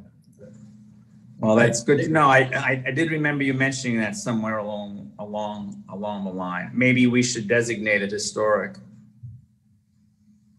So, um, Yeah, so, so I'm, I'm gonna follow up on what, um, I'm gonna follow up on what Ben has said because that was not my understanding and I, I, um, so I'll, I'll, if I stand corrected, Ben, you know, I appreciate you bringing that up. But, um, let's see what exactly is the protocol for that building, uh, going forward. Now that they've found a new site, now that they're moving forward with the, uh, with the construction, um, it probably won't happen for another, God, four or five years. So, um, uh, but so since we have additional opportunities to be reelected, uh, hopefully we'll be here when we can do the ribbon cutting on that building. Um, but as commission, as the vice mayor said, it would be a shame if we did not seize this opportunity to try to repurpose that building and, and keep it as a, as a focus, a focal point of our downtown. Uh, it really is a, a unique design. Yeah, Um, just to be clear though, the, to John's comment, the historical quality or nature is a criteria for which properties are evaluated. That, that doesn't mean every property is determined to have historical value and so forth. So um, that, that's one of several qualities that they uh, evaluate there. okay, all right, maybe. Right, but I, I, Mayor, I, I think that we could make a really good case for the historical value of that property. I'm sure that, um, you know, our HPB and Trish Logan and others could, I, I, so much has already been written. Um, actually, it was about two years ago when there was actually a whole symposium on that building and people came from all over the state uh, to tour it and discuss it. Um, it was already been listed on the Florida Trust for Historic Preservation's endangered list a couple of years ago. So um, there's more than enough evidence and more than enough information to make a really good case for the historic value of that building. Okay, so we'll continue to monitor the uh, progress there, and I'll let you know as I know things. Um, Several of you brought up uh, homelessness, and, um, and uh, unfortunately, that, that becomes a uh, refrain every time we have uh, one of these sessions. Um, One of the things that uh, we need to focus more on, and I'm going to try to make an effort, just haven't gotten around to it yet, but uh, I want to try to make an effort to uh, communicate with the sheriff's office to discuss discharge proceedings from the county jail. Um, It's, uh, it's unfortunate that when folks leave the jail, have no place to go, didn't really originate in Fort Lauderdale, but now find themselves in Fort Lauderdale. Um, And that's just one thing. Uh, I know that the uh, COC has a discharge uh, subcommittee, but we never seem to get anywhere with that. And uh, um, we just need to, we just need to be more aggressive in our, in our efforts to, uh, um, to ensure that folks that leave the jail do not find themselves on the street. Nonetheless, we still have a lot of other encampments that are starting to develop around the city. I noticed one in front of the Target on Federal Highway. Uh, the one by the library is, is, continues to, uh, to, it continues to be uh, a site for homeless people to congregate. Um, there's just places all around the city, and now we're being sued by some enterprising attorneys who seem to think that panhandling is the best way out of homelessness. So they're suing the city to allow for uh, panhandling because they feel that that's uh, that's a way for people to sustain themselves while they're homeless. Um, I really think it's a shame that resources are being spent in that regard because if we're able to use those same resources to really help people out of homelessness and get them back on their feet, we can be much more um, we'd be much more uh, productive. Um, but we'll have to deal with it. Um, you have any thoughts on that, uh, Alan? Um, no, I agree. Um. I mean, we're, we're gonna defend it fiercely. Um, you know, other cities have been targeted, Pompano Beach is one of them, that's right. Uh, the- the St. Lucie. We, uh, they've been threatening to do that for several years and fought back. Some components of it have already been litigated in other jurisdictions successfully. Um, but we'll have to see without. you know, Alan, can you speak up? yeah, without actually putting our cards on the table, I don't wanna get too much into it, that's at this point, since we just got served yesterday. Um, but we, uh, we will be fighting it. Okay. Um, so, you know, I don't, I, I hear rumors that some businesses are planning to move out of the city, having given the county and the city, you know, a chance to try to eliminate homelessness downtown. Um, uh, I hate to hear that. I, I- so, you know, we are, we have failed in that regard. There's no doubt about it, despite all of our best efforts. Um, lack of resources, lack of commitment, lack of cooperation. Um, and uh, in the meantime, uh, these folks are victims of, of our inability to, to try to eradicate the, the, the problem. Um, you know, I was part of a uh, business council that made an effort three years ago to to uh try to eliminate homelessness in our in our downtown. Uh it just seems all they want is money from the city. We we gave them a lot of money. Turns out that the that their ability to um to use that money in a in a in a you know cost effective way didn't really materialize. I think sitting at the seat, where we had a uh a conference ta- conference room, uh excuse me, a conference meeting.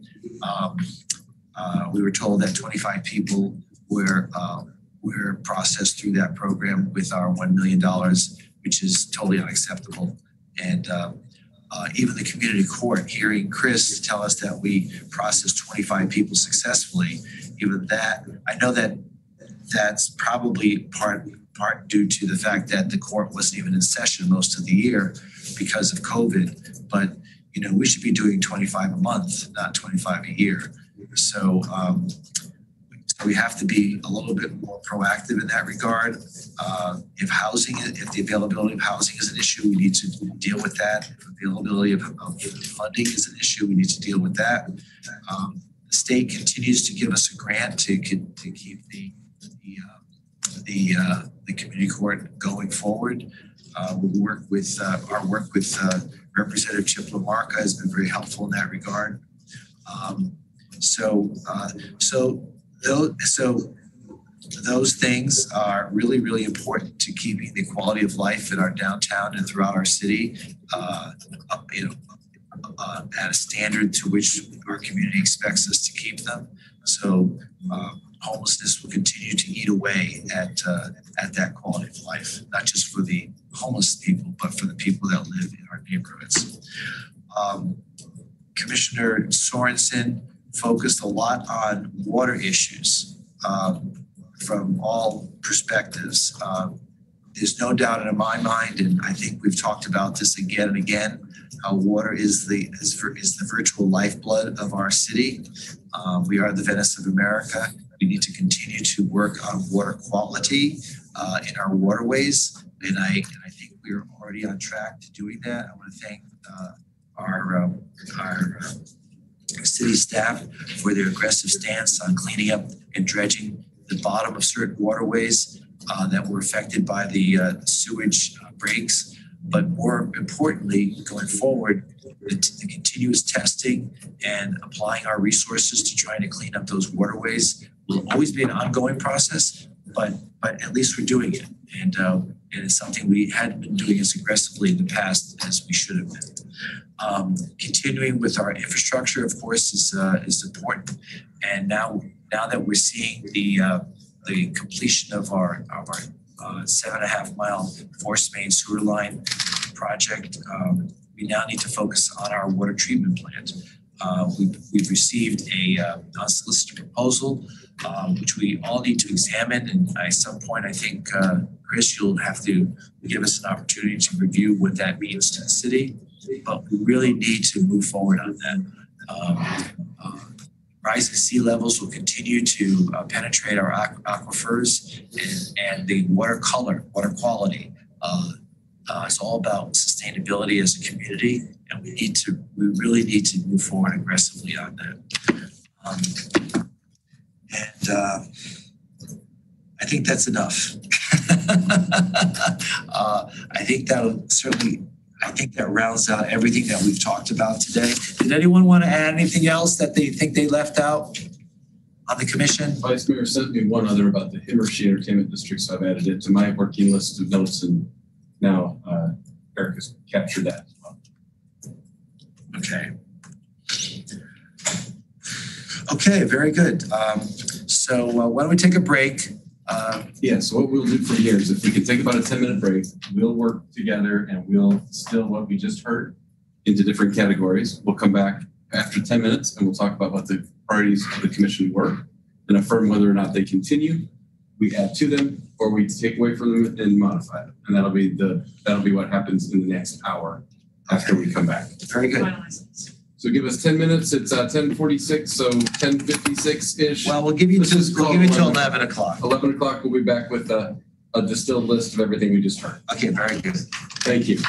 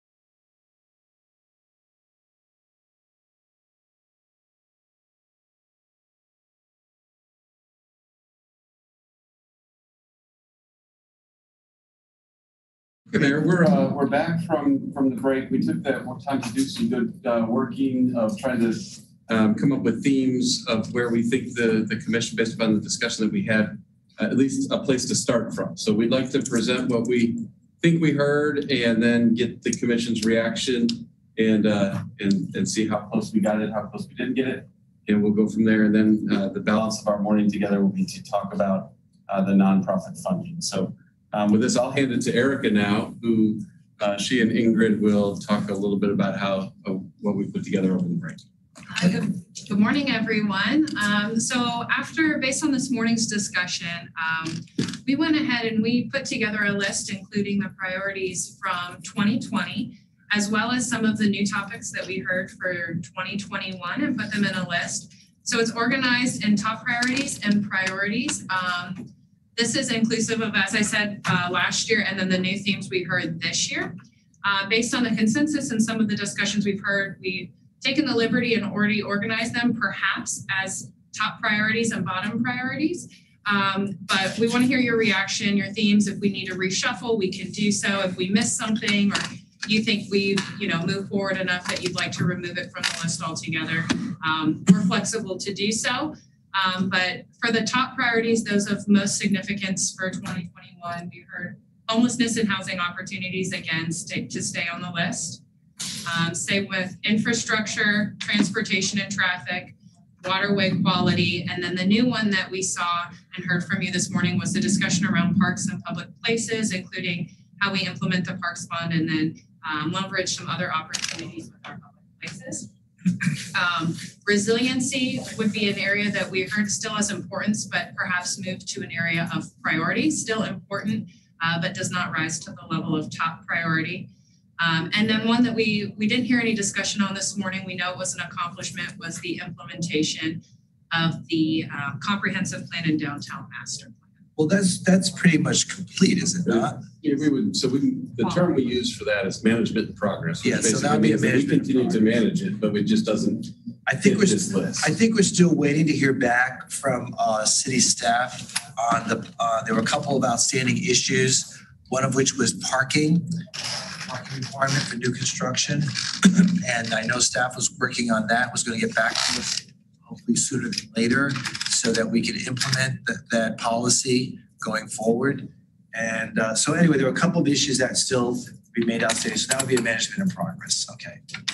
Um, and then looking just um, at the priorities list, um, streetscape and tree enhancements uh, was an area that we heard from you last year was of importance. We have quite a few initiatives in progress, so this is one that we potentially would recommend moving to management in progress. Right. Um, same with the airport workforce training facility, or as I believe we're more commonly referring to it, the aviation and aerospace training program. I, I don't think that's a management in progress. I think the commission still needs to make some decisions on that. Chris, you- do- am I, am I wrong on that? I mean, we have a lot of decisions to make. Well, I think you're, you know, I, I, I think you're right. I think there's still decisions to be made there. When we say move to management in progress, that doesn't mean it falls off of our to-do list. Um, it's just one of those things that we wouldn't necessarily report on monthly, um, to the commission. So, but again, this is our first pass at this. If, uh, if you want to keep it on. I think, I think the first step is the commission needs to decide what we want to do because part of that training facility could have um, multiple facilities. The commission needs to decide what we want to do at the community center. So I, I think the airport workforce training opportunities, really, it's not just one facility at this point. It's kind of what do we want to do? Maybe after we do a needs assessment of the facilities we have, um, so I, I, think the commission needs to weigh in. I don't think they, uh, after, especially after we, that consultant gives us a report and the commission can see, do we want to use some of our current facilities for these opportunities? It, it, so I, I think it's, I just think it's a little bit more at a commission level at this point, and then we can, we can push it up, you know, give it back to you all. Um, so then looking at the rest of the list, uh, safety and smart growth uh, were again two areas that we heard in your discussion this morning. Um, they were on our list last year. Uh, there's some talk this morning about streetlights. We've included that last year and we'll continue to look at that as a component of safety uh, moving forward. Um, Resiliency, again, we heard that as a discussion. We want to leave that on the list. Um, but we have quite a few initiatives underway, so potentially moving this to the list of priority. Um, and then post-COVID assistance was uh, one last common thread that we heard in all of your discussions this morning. So this is what we've taken and summarized, but we can reshuffle, we can discuss. If we left something off, please let us know. We want to make sure that we get everything um, included where appropriate. So maybe it would be helpful to go back to the top priorities then and now and just say, okay, let's hear from the commission on those five, which are homeless and housing, infrastructure, transportation and traffic, waterway quality, and parks and public spaces, and just get some first reactions to those. Well, I think almost every, I think almost everyone agreed. I mean, I took notes too, and almost everyone um, recited those five priorities in one fashion or another. Um, Is there anyone, in- does anyone have a uh, difference of opinion with whether or not uh, uh, these should continue to be priorities going forward? Ben, I'm, I think this is great. I'm, I'm good with this. Uh, resiliency is the only thing that's, um, sticking out a little bit for me in terms of moving it down to, to a, a, lower level priority. Um, but, uh, so I, I'd kind of prefer it in a top priority, but I'm, but I'm flexible, uh, on that. Let's go down to the priorities then. I'm just trying to balance these out. We have five and six. We could So, go- Mayor. We could go six and five. That would be fine. Mayor, okay. Yes, sir. was that your statement or your question? I mean. No, no, I'm just, I just thinking the asked statement. No, we're gonna ask everyone, we're gonna go around again. No, no, because the reason why I asked because t- to me, it just sounds like this is what we talked about last year and the year before, and you're saying, do we want these to be the priorities, or is this something we want to make sure that keeps it keeps moving forward with follow up? So we'll ask everyone, uh, we'll go around and ask everyone what they're, to respond to that exact point. Because I'm just trying to understand what you said. I, I, that's the way I took it. So am I correct for assuming that? No, well, I was just making a comment that I think, you know, when everyone made their presentation this morning, I think, uh, all of us seem to have hit one or more of these, uh, uh, commission top priorities. Okay. in Their statement. I was just making a- an observation. Okay. All right. Yeah. I'm good. That was all. So, Okay. and the reason why I said that is because I think, I think that's a good thing because Yeah. we are, there's a consensus here on uh, what our top priorities are. So, so that's a good thing. Um, Yeah. Whether or not we get them done this year is another thing, but at least we're all, uh, there's a consensus as to what's important to our community. And, uh, and I think it's identified in these lists, but, but, okay, so Commissioner Moraitis, you, you started to discuss uh, your response to this. Uh, do you Yes, have any comments? Um, I'm just thinking in my mind where certain things would fall. Like, I do think it's really unique and innovative that you brought back this, you know, Elon Musk tunnel thing. Would that fall under transportation? I just want to make sure the things that we're really focusing on are on the list. Yeah, that I- that would be under transportation, yes. Okay, I just, I guess maybe in my mind, it helps to have a few more bullets. And I'm thinking resiliency, like infrastructure, is stormwater under resiliency or stormwater under infrastructure? Because that's really big. And I think, you know, obviously water sewer infrastructure and Fiveash are big too, but when we talk about stormwater, Through that, uh, when we were at, so we would probably put that in in infrastructure. Um, but once we, okay. you know, once we decide what the, you know, once we, after this morning, um, we will come back and we will put together the different examples of what we think fit in each of these buckets based upon what you talked about. So this morning, we're just trying to get the buckets right. Okay, got it, got it. we're gonna come back to you with specifics in each one. Okay, so I just want to make sure I'm thinking the right thoughts and that they're categorized in the right way. Um, I, you know, love, I spent a lot of time on the comprehensive plan, the downtown master plan, and, you know, it's not my district, but obviously it's important to our entire city. I really like that all five of us thought about that. I really think um, you all may want to pay a little bit more attention to uptown because there's a ton of opportunity there. I know it is in District One, but when we talk about the Uptown Master Plan, I think if we could all engage in it a little bit, I think we'd have really create some new opportunities for businesses and just a, a new whole district. I feel like we spend a lot of time on downtown, which I'm happy to do because it's important, but um, I don't know if everyone has spent as much time in the uptown area, especially with that investment of, you know, Lock, um, Inter Miami. I just, I think there are a lot of, there's a lot of opportunity there. And I know I'm advocating on behalf of my district, but I'm really advocating on behalf of our city. I think if we would make it a little bit more of a priority, I, I think you'd be surprised about, you know, what the outcome would be over the next couple of years. Just my plug. Well, I think, uh, so watch what you wish for. So you want us all to get involved now in the, uh, in the planning of the. Uptown Master, Master Plan? I, I, I do because I value your input and especially, you know, you all have been doing this much longer than I have. And I think it's just a little gem that needs to be kind of dug up a little bit more. And I, I, um, like I said, I think you'd really be surprised. We have a, a we, we have a lot of opportunity up there. Um, I agree. It's a blank think- slate. Let's. yeah, it, it's a blank slate. And I think, yes, I, I do want all five of you. I really don't want you to touch my park, but um, I, I invite you to touch the rest of Uptown because I, I, um, I know there's opportunity, but I don't have the ideas necessarily. And I think your combined collective wisdom, I think we could create something really cool up there. Okay, hey, I'd love to be involved with that. Okay, uh, Vice Mayor, do you have any comments? Uh, no, actually, I, I, I like what I'm reading and I like what I'm hearing and I, I, I'm good with this. Okay, uh, any, any just- further? Commissioner, sorry, Mayor, I just wanted to ch- check with Commissioner Moraitis. So I'm, all in to help with the Uptown Master Plan as well. Is that, are you good keeping it as a priority um, where it is now, Heather? Or- Yes, well, we do have the hundred thousand dollars um, allocated, so a person, a consultant will start soon. I just really want the commission to think more about this as opposed to me, because I, it really are the city and the business leaders, you know, all of us to put the same level of emphasis. So I'd probably say, you know, it's going to take a couple years, just like the downtown master plan did. But, you know, where it lands, I guess I don't really care as long as you all are kind of committed to help, help, you know, this heavy lift alongside of me and making it a priority, whether it's top or just a priority. Okay, great, thanks. Yeah, I'm, I'm in.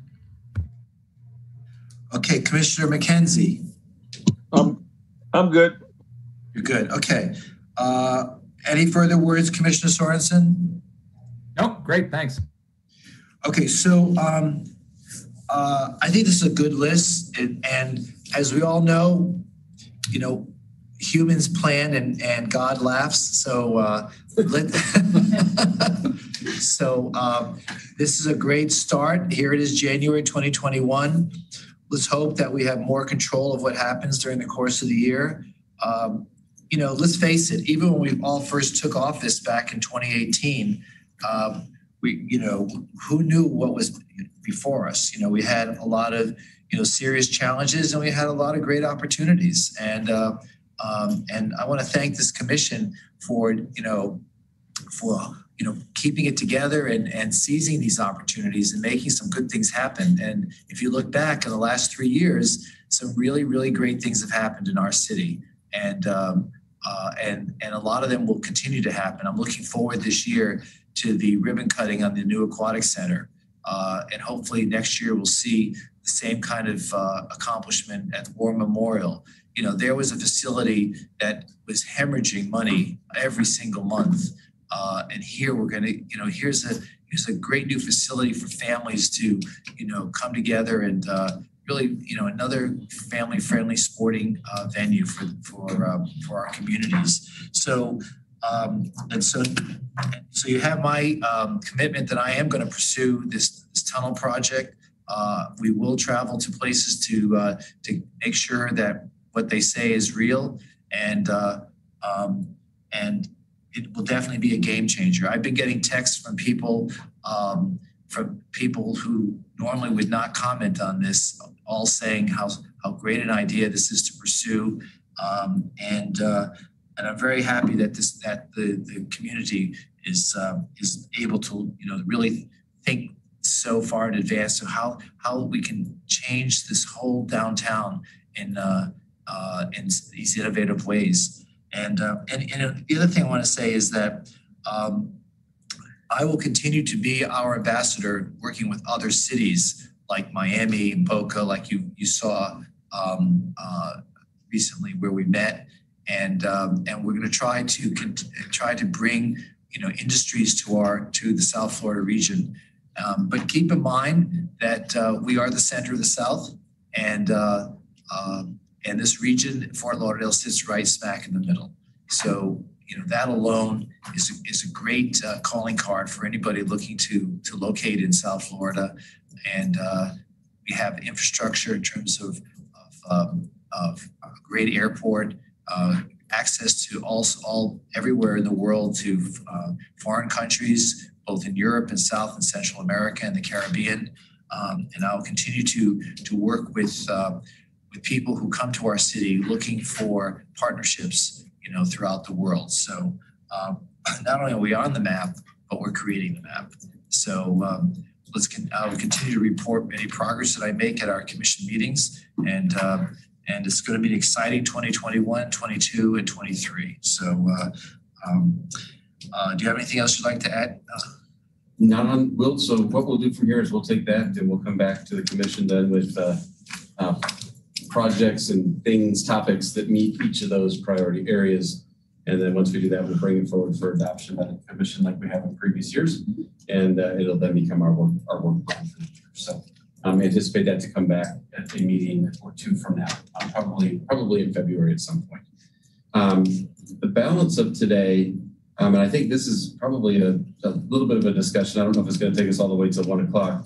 Um, but we've got a new way that we're aligning funding this year for nonprofits. And in prior years, um, we've taken requests in, I've built a budget, or former managers have built budgets and, and included in that a component of things for nonprofits, like the United Way, for example, and our funding for homelessness at seven hundred fifty thousand dollars, or the NSU Art Museum that has received funding, or the Historic Society, or the list is long. There's about seventeen or eighteen or nineteen different uh, groups that we have um, provided funding to in the past.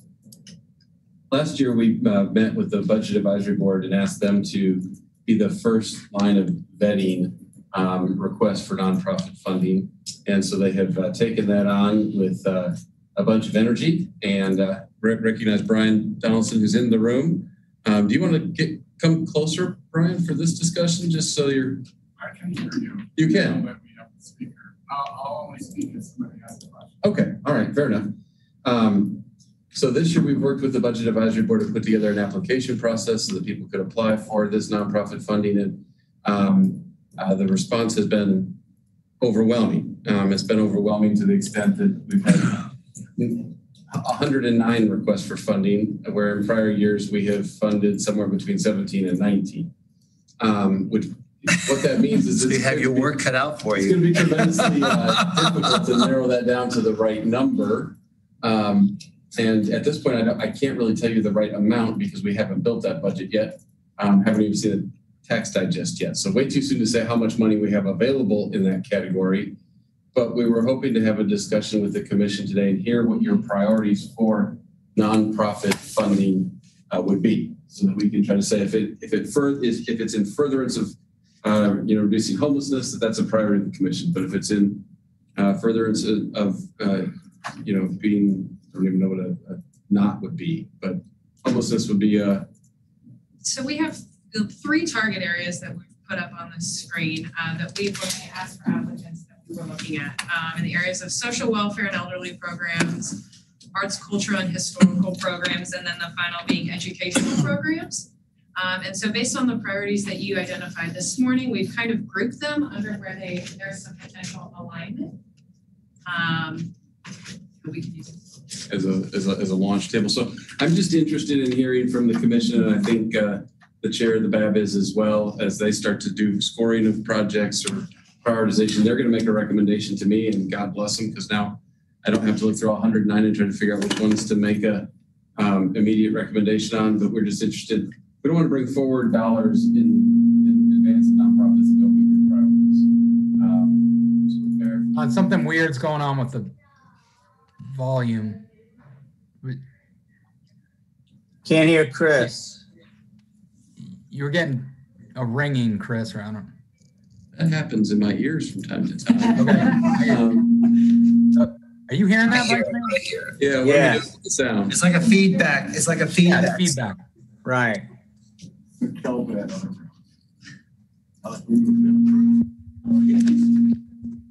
It's a calibration between the two of you. Hang on, we're just, uh, we're redoing the room here so that we don't have that feedback issue.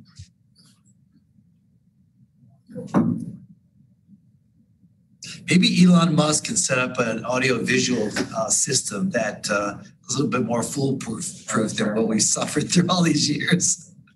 All right, are we good? Okay, Commissioner, can you hear me? Yep. Okay, good. So I'll just, uh, I'll summarize real quickly, um, in case it, it was missed. We're just, we're interested in hearing from the commission priorities for nonprofit funding. So as we look through hundred and nine different applicants, um, you know, what, uh, what makes good sense to match our priorities? Because if history is indicator of the future, we're gonna be telling the eighty to eighty-five groups that applied for nonprofit funding, no. And, uh, you know, when we do that, then, uh, you know, I'm sure many of them will um, seek alternate paths to get back into the column of yes. And so this, this will help us um, identify areas of, uh, funding. So um, anything to add, Brian? No, really, really, we need their feedback as to how, if you, we were to take X dollars, and we're not ready to discuss what the budget is yet. But if you looked at these three categories and you had to prioritize them maybe as a percent to add up to hundred percent total, um, whatever that would be, how would you prioritize point number one versus point number three? Do you feel that educational programs are on equal weighting as social welfare and elderly? Or is the arts and culture and historic programs, is that only a quarter of whatever we're allocating? So that we have a better idea when we're going through hundred and nine applications. Um, you know, where should we be putting our emphasis when we're looking on these um, various categories? So if you, if you as a group said, you know, this arts and cultures and historical programs need to be a cornerstone for the city. Um, and we think it should be 60 to 70%, then we would be looking at the, at the applicants which fit underneath those categories um, and be weighting those differently, if, if that helps. Okay, so let me, let me chime in on this. Um, When did we start getting in the business of elderly programs? I mean, I'm all for senior citizens. So, uh, but when did we ever start giving money to elderly? That's a new, that's a new topic. Please. So we previously gave funding to Aging and Disability Resource Center. Yeah. And so there was local match to leverage. How much was that? Uh, the amount this year was forty-six thousand five sixty-eight. Okay, So it's typically the city would provide a local match to support a program that receives federal funds. okay, so it was a lo, it was a match, okay. But in terms of priorities, um, I think homelessness and housing opportunities and post-COVID assistance to the community should really be the, the banner headline in that category.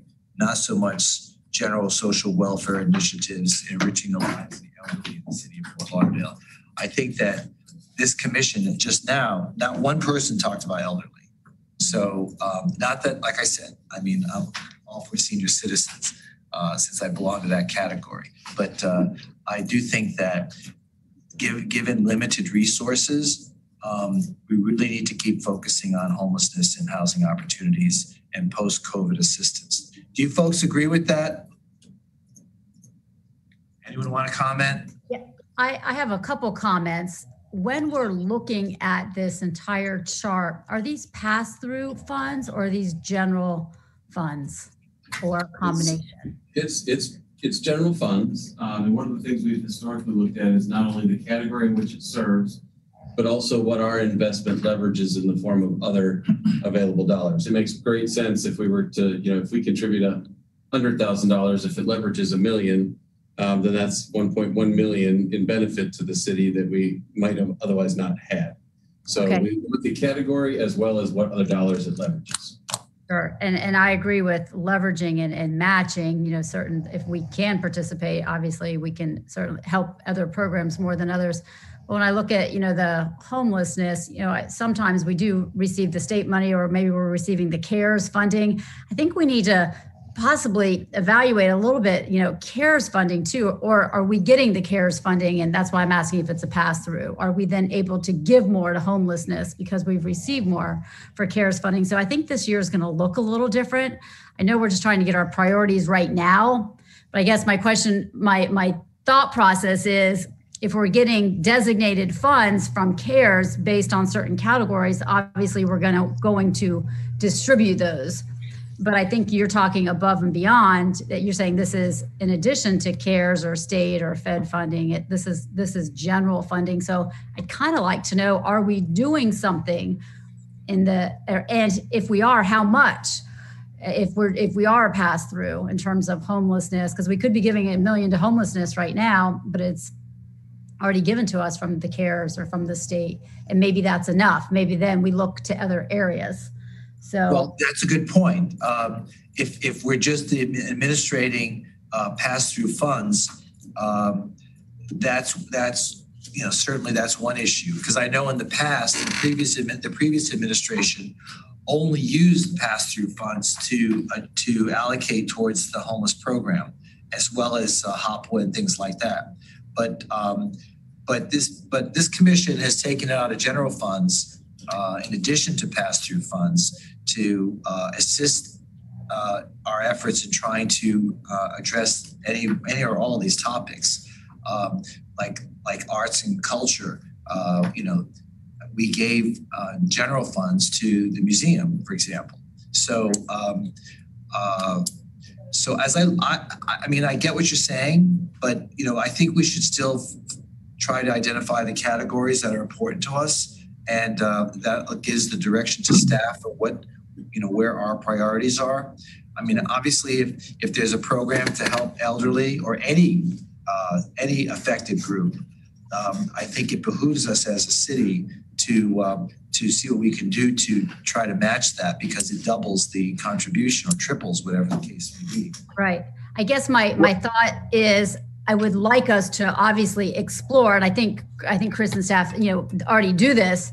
Are there opportunities for grant funding or federal funding or CARES first, and then maybe if they meet those, you know, goals, maybe if we fund 100% of homeless initiatives through other sources, we don't have to use general funds, and then we can give more to arts or and also if when i see public places and spaces i'm thinking we have we have bond money. So i don't want to give something out of our general fund if it's already funded. That's my point. I'm looking at this and i'm thinking ah, education that should be school board parks that's bond money.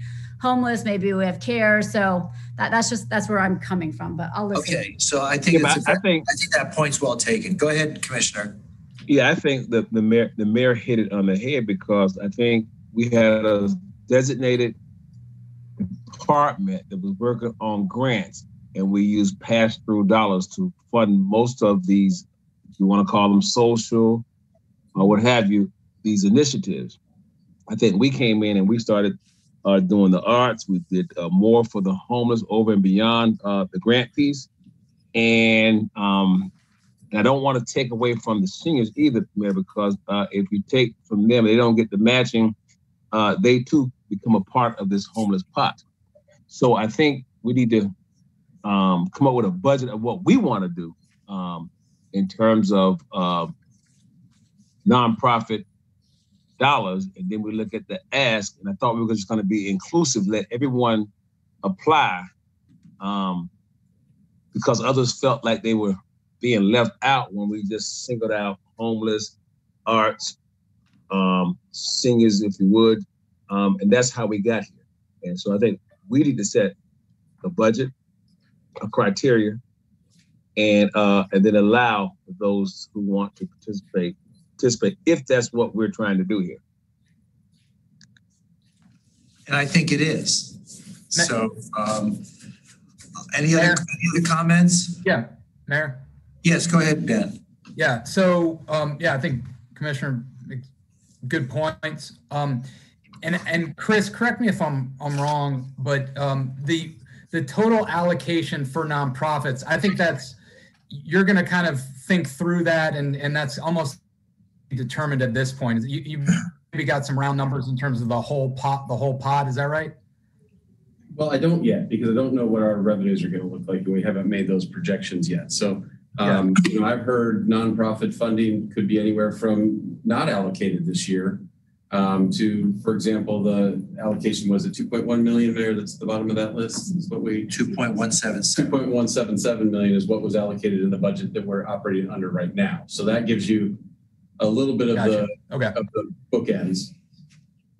So, so I was just Gotcha. handed a So list. What, what I, okay. Go ahead. Who was No, go speaking? ahead, go ahead. I just wanted to say, I was Matt, handed yeah, a you're- list. Wait, just give me a second. I was handed a list and let me just tell you a little bit about where, what we did last year. So the, the biggest allocation was seven hundred ten thousand to the United Way for our homeless uh, efforts. Uh, then there was five hundred thousand dollars that went to uh, Nova Southeastern uh, Museum of Art uh, to provide innovative art exhibitions and supplemental cultural, educational enrichment programs for the people in the community. then the next one was Riverwalk, uh, which which for their for their programming. Then there was Summer Youth uh, Employment Program, one hundred ninety thousand um, to uh, for for summer youth uh, job opportunities, and then Stranahan House for hundred thousand. Uh, Historical Society, eighty-five thousand. Winterfest, seventy-five thousand, and then it goes down all the way to the Broward League of Cities installation dinner for five thousand dollars. So those are the kinds of things that we gave money to in the past. And um, we don't have to do the same this year, or we, we can continue that way. I think everyone should get a copy of this, uh, this list. It's in the adopted budget too, but we can send it. to Yeah, if you could email it to everybody so that we have an idea as to, uh, for example, the Sister Cities International Program, we gave nineteen thousand. Uh, but there has been some talk about internalizing that program into, into, a, um, uh, one of our departments, which might, uh, eliminate that allocation and just, um, and, you know, just have it become a regular feature, um, as part of a, uh, as part of a, uh, um, let one of our departments take over the operation of it without having to do a separate allocation to Sister Cities International.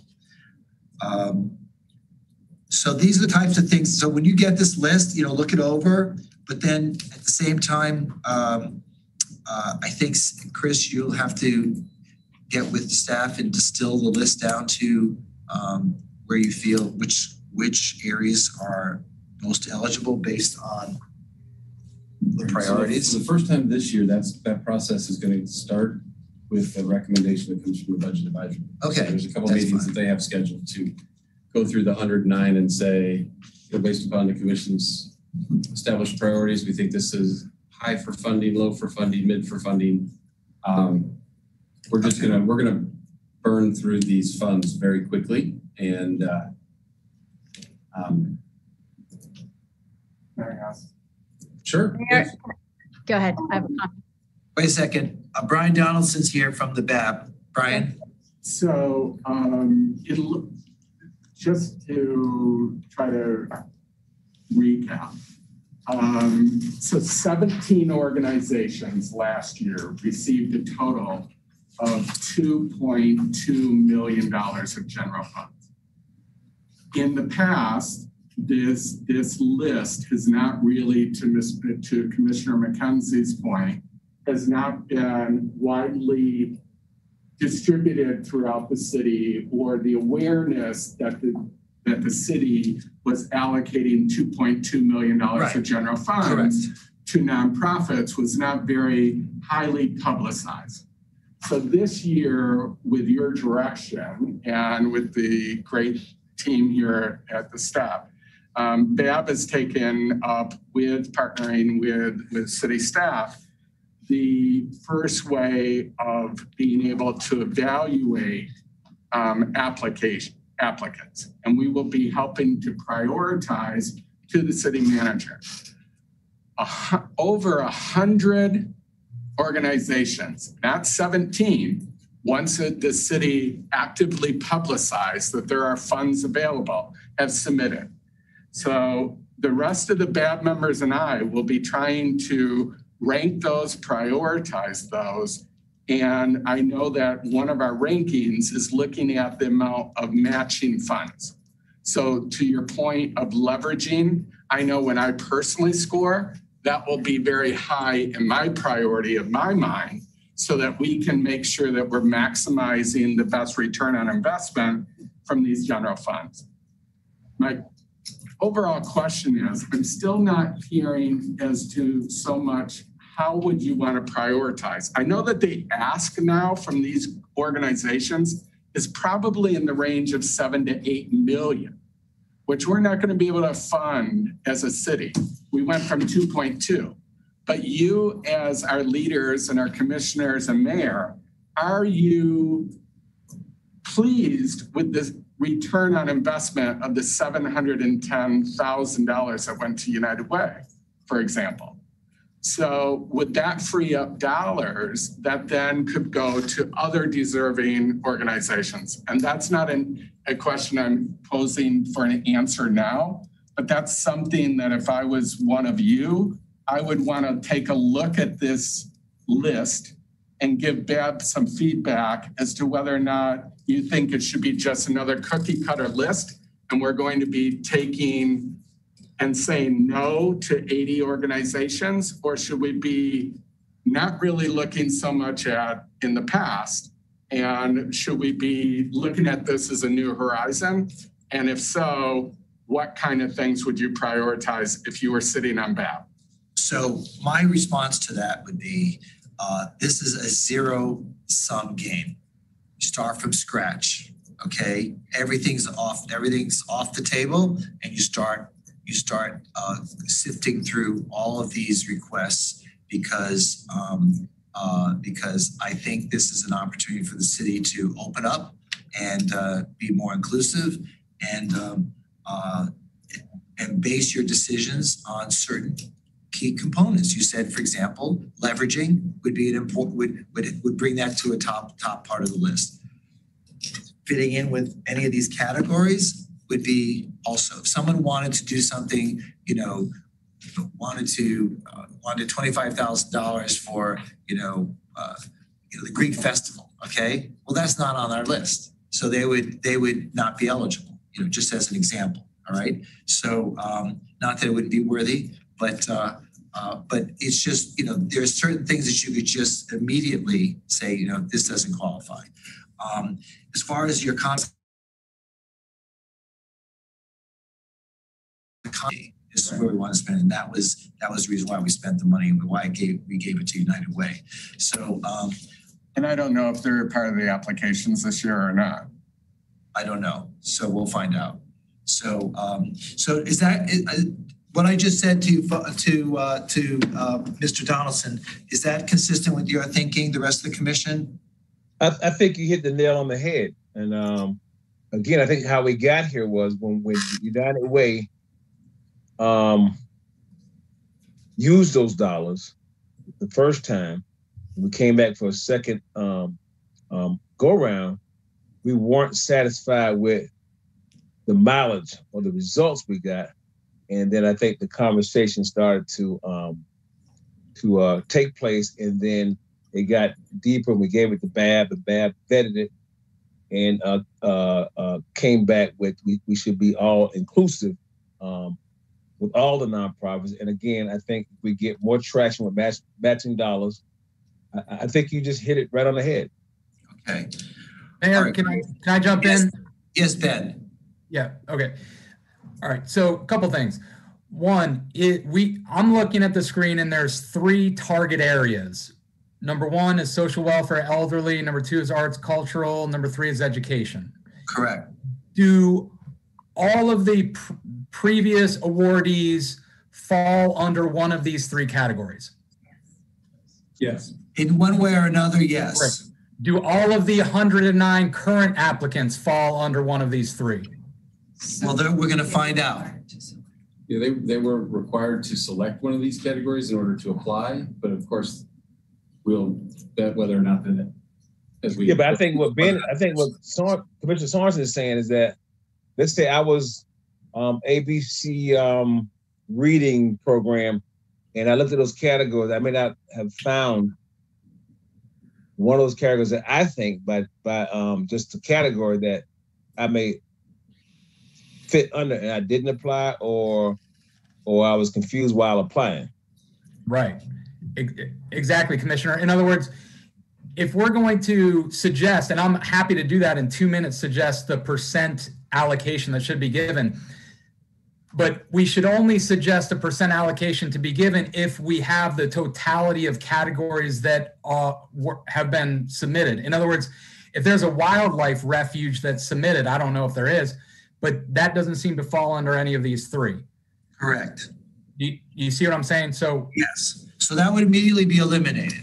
No, they had to pick one of the three. They had to pick one, yeah, but how they interpret their connection to one of the three is, you know, open to interpretation. So, Okay, you know, all right. So that's But that still helps. yeah. so Brian, one, thank you for doing this. Um, really, this is not not an easy task. So great. So my understanding is, hey, each of the organizations should really be falling on under one of these threes. They've selected that. As you're reviewing these, if for some reason it seems like they're out of bounds, don't align with align with whatever one or three or, or which one they selected, then that that's kind of uh, um, not going to be considered. I'm guessing. Um, is that am I tracking that right? I think you're right. And, um, uh, but again, we'll leave it up to the, to the BAB to be able to sift through the requests and see how, uh, you know, see how the, um, the application best suits the priorities of this commission. You know, I sat on a, on a, on a foundation board. I still sit on a foundation board. And over the years, you know, uh, we gave money out, still give money out every year to people who apply for it. Uh, we have a mission statement, and this is essentially our mission statement. And we try to figure out, you know, how did the application apply to the mission? And uh, you'd be, in- you know, I mean, it's obvious people are going to be very creative in their interpretation of that mission and how it relates to their request for money. But uh, but in this case, we're going to leave it up to the BAB to make that uh, make those choices and then present them to us. Um, Yep. Great. so, So, so yep. let's at this point. I, I have a few more So hold on, comments hold there. on. Okay, Can I go still ahead. talk? Yeah, we're- go ahead, please, go ahead. Okay, so number one, I, I th- here's he- one. I think Mission United through its partner agencies, Hopes ha- Broward Housing Solutions, Hope South Florida, Memorial Healthcare, Showering Love, Salvation Army. These are all the entities that that that money has gone to. I think that we're getting really good results, and and uh, it's an important initiative. Here's my suggestion, just to throw numbers out here, so we can get Brian what he, uh, and and then just to start. Uh, let's look at the 100% of the pie and just allocate it based allocate it towards these items. So here's a suggestion. Social welfare, 50% of whatever we spend could should be spent on social welfare programs, 50%. Arts, cultural, and historical programs, 25%, 25% of the total. Education programs, 25%. Just, just a starting point or thought. Thanks, Mayor. What, but, but, but Ben, what happens if, what happens if uh, not enough people have applied under that certain category to justify a twenty-five percent allocation? You know, you're, you're, you're prejudging the result, uh, and that's why I think we need to defer to the BAB to let them go through all this. These are our priorities. You know, I happen to think that education is really very important. And, uh, and, and what the Education Advisory Board has come up with, uh, some of the initiatives that they've recommended, um, you know, what is the first thing that companies ask for when they think about relocating to a, a city? The first thing that's on their mind is how is your school system? And, uh, um, you know, and, and we're kind of weak in that regard. And anything we can do as a city to augment the, the, uh, education programs, I think uh, behooves us going forward. So I don't know if you, I, I don't know if I'm on board with, you know, allocating percentages because I think that ties the hands of this, of the BAB, who is trying to come up with recommendations. Yeah, I think, I, I like the BAM bidding. Yeah, I like them vetting it too. I don't think it's good for us to put percentages right now. I think it's the cart before the horse. Um, Mayor, I have a question. What happened to all of the monies that we allocated in this last round when events did not happen? Like, like, look- uh, like Winterfest? And I'm looking at the list that Greg forwarded to us, the email, and uh, St. Patrick's Day Parade is another one, I guess. I guess, what happened to those dollars?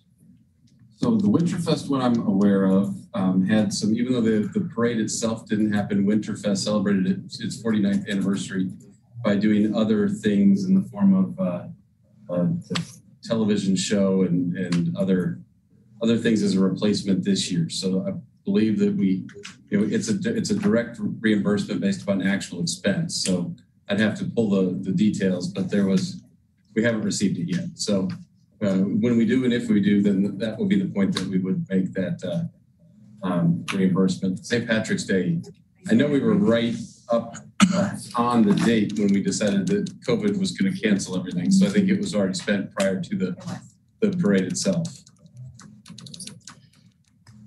Commissioner Okay. Moraitis, you would want to say something. Yeah, Steve, are you done? Yes, I am. Go ahead. Okay, thank you. Um, I'm looking at the categories again, and I know Brian said, you know, let's see if we are matching in terms of maybe money that they've applied for. But I'd also like to try to quantify what we're currently doing. Like Mayor, you said educational programs are important. I agree. But how much are we allocating towards the playgrounds, for example, at our public schools based on our parks bond? So I, I need to kind of see what we are giving and then so it would help me determine what I we should can give in addition to that. I, I think just to say educational in general without knowing what are we doing today to help support this, and then what should we give in addition, it would help me make a decision. I think that, I think that um, makes a lot of sense. So when, when you present your report, is there any way you can tag team with our, our budget department to see um, what, would- like, like what is our Parks Bond money going for? Do we have to add more money out of the general fund because someone applied for? And we don't know yet because we, you know, the, the application ended, the process for the, for the nonprofits was Monday evening. We're now on Friday. So we haven't even seen whether or not, um, to Commissioner Moraitis's comment, there may not be any applications that have anything to do related to playgrounds or any of those type of educational things. Okay. So I think, you know, what I'm hearing today is, is that everyone is, is open to us looking through, looking through all these new applications, and we have a team of 10, plus we have a very uh, good staff here that is helping us to go through this, that we need to look at it with open eyes and say what really makes sense and where do we think as an advisory board the city would get a good return on investment for all citizens? Because i'm not hearing any preferential difference between your three bullet points. So it really tells me let's don't put things into little boxes and let's really look at the applications and let's score them based on what we think is a community and then bring it to the city manager with our recommendation Right, but to Commissioner Moraitis' point, if there's any way um, we're, we're providing money from, from other sources. I'm sure we'll, that'll be a point of our conversation. Yes, Right. that's a very good. So, yeah, I, I want to say my point too. I, and this is a little early for me to even make a decision.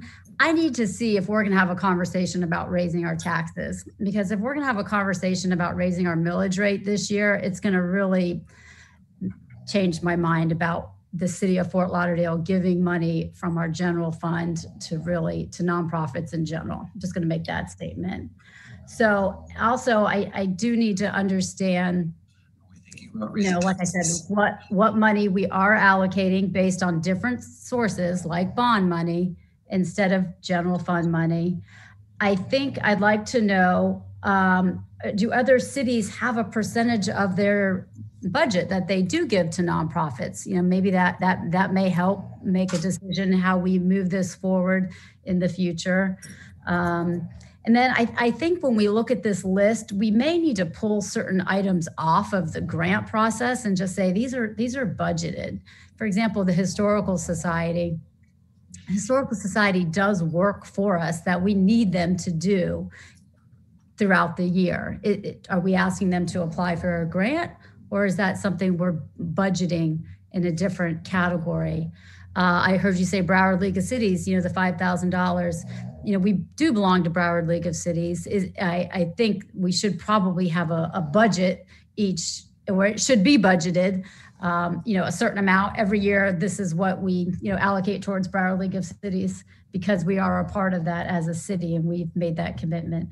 So, um, so that that's kind of where I'm standing. I, I need to know where we are with our budget before I can decide how much I think we should give. I I don't know if other cities give general funds to nonprofits, um, but I know we are definitely pass through. We are a pass through agent with a lot of these programs, and I want us to continue to be. And that's where Chris and his staff do such a great job of identifying grants that are available um, to our community partners that we can help, whether it's pass through or matching.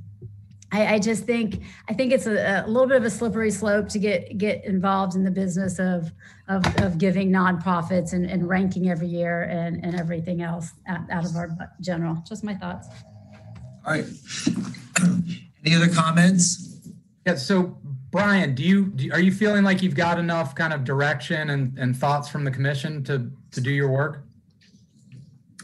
I think it's a good starting point and it's our first year of doing this. And I think, you know, taking all of the information and the comments that all of you provided today, mm-hmm. I think between the budget director and the city manager and myself, we need to meet and come up with some criteria or better information to share with BAB that have not probably had time today to listen to this conversation because right now, if the rest of my team uh, just received an email today saying start scoring 109 people, I think they're going to be. Uh, I I would be overwhelmed. So I think we are we need to meet and give some direction. And you know what? This is an a, an open, fluid thing. We scheduled an extra meeting in February we felt so strongly about it.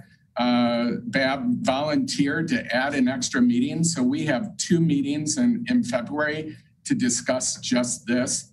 Um, and if we have to add some additional things in future months, and I think it'll be a working process as we move through the budget. To Commissioner Moraitis's um, question or comment, it's too early in the cycle to discuss whether or not BAB is going to um, advise a um, increase or a flat in the ad valorem, but that is our job to work with the city manager and vet all of the budget.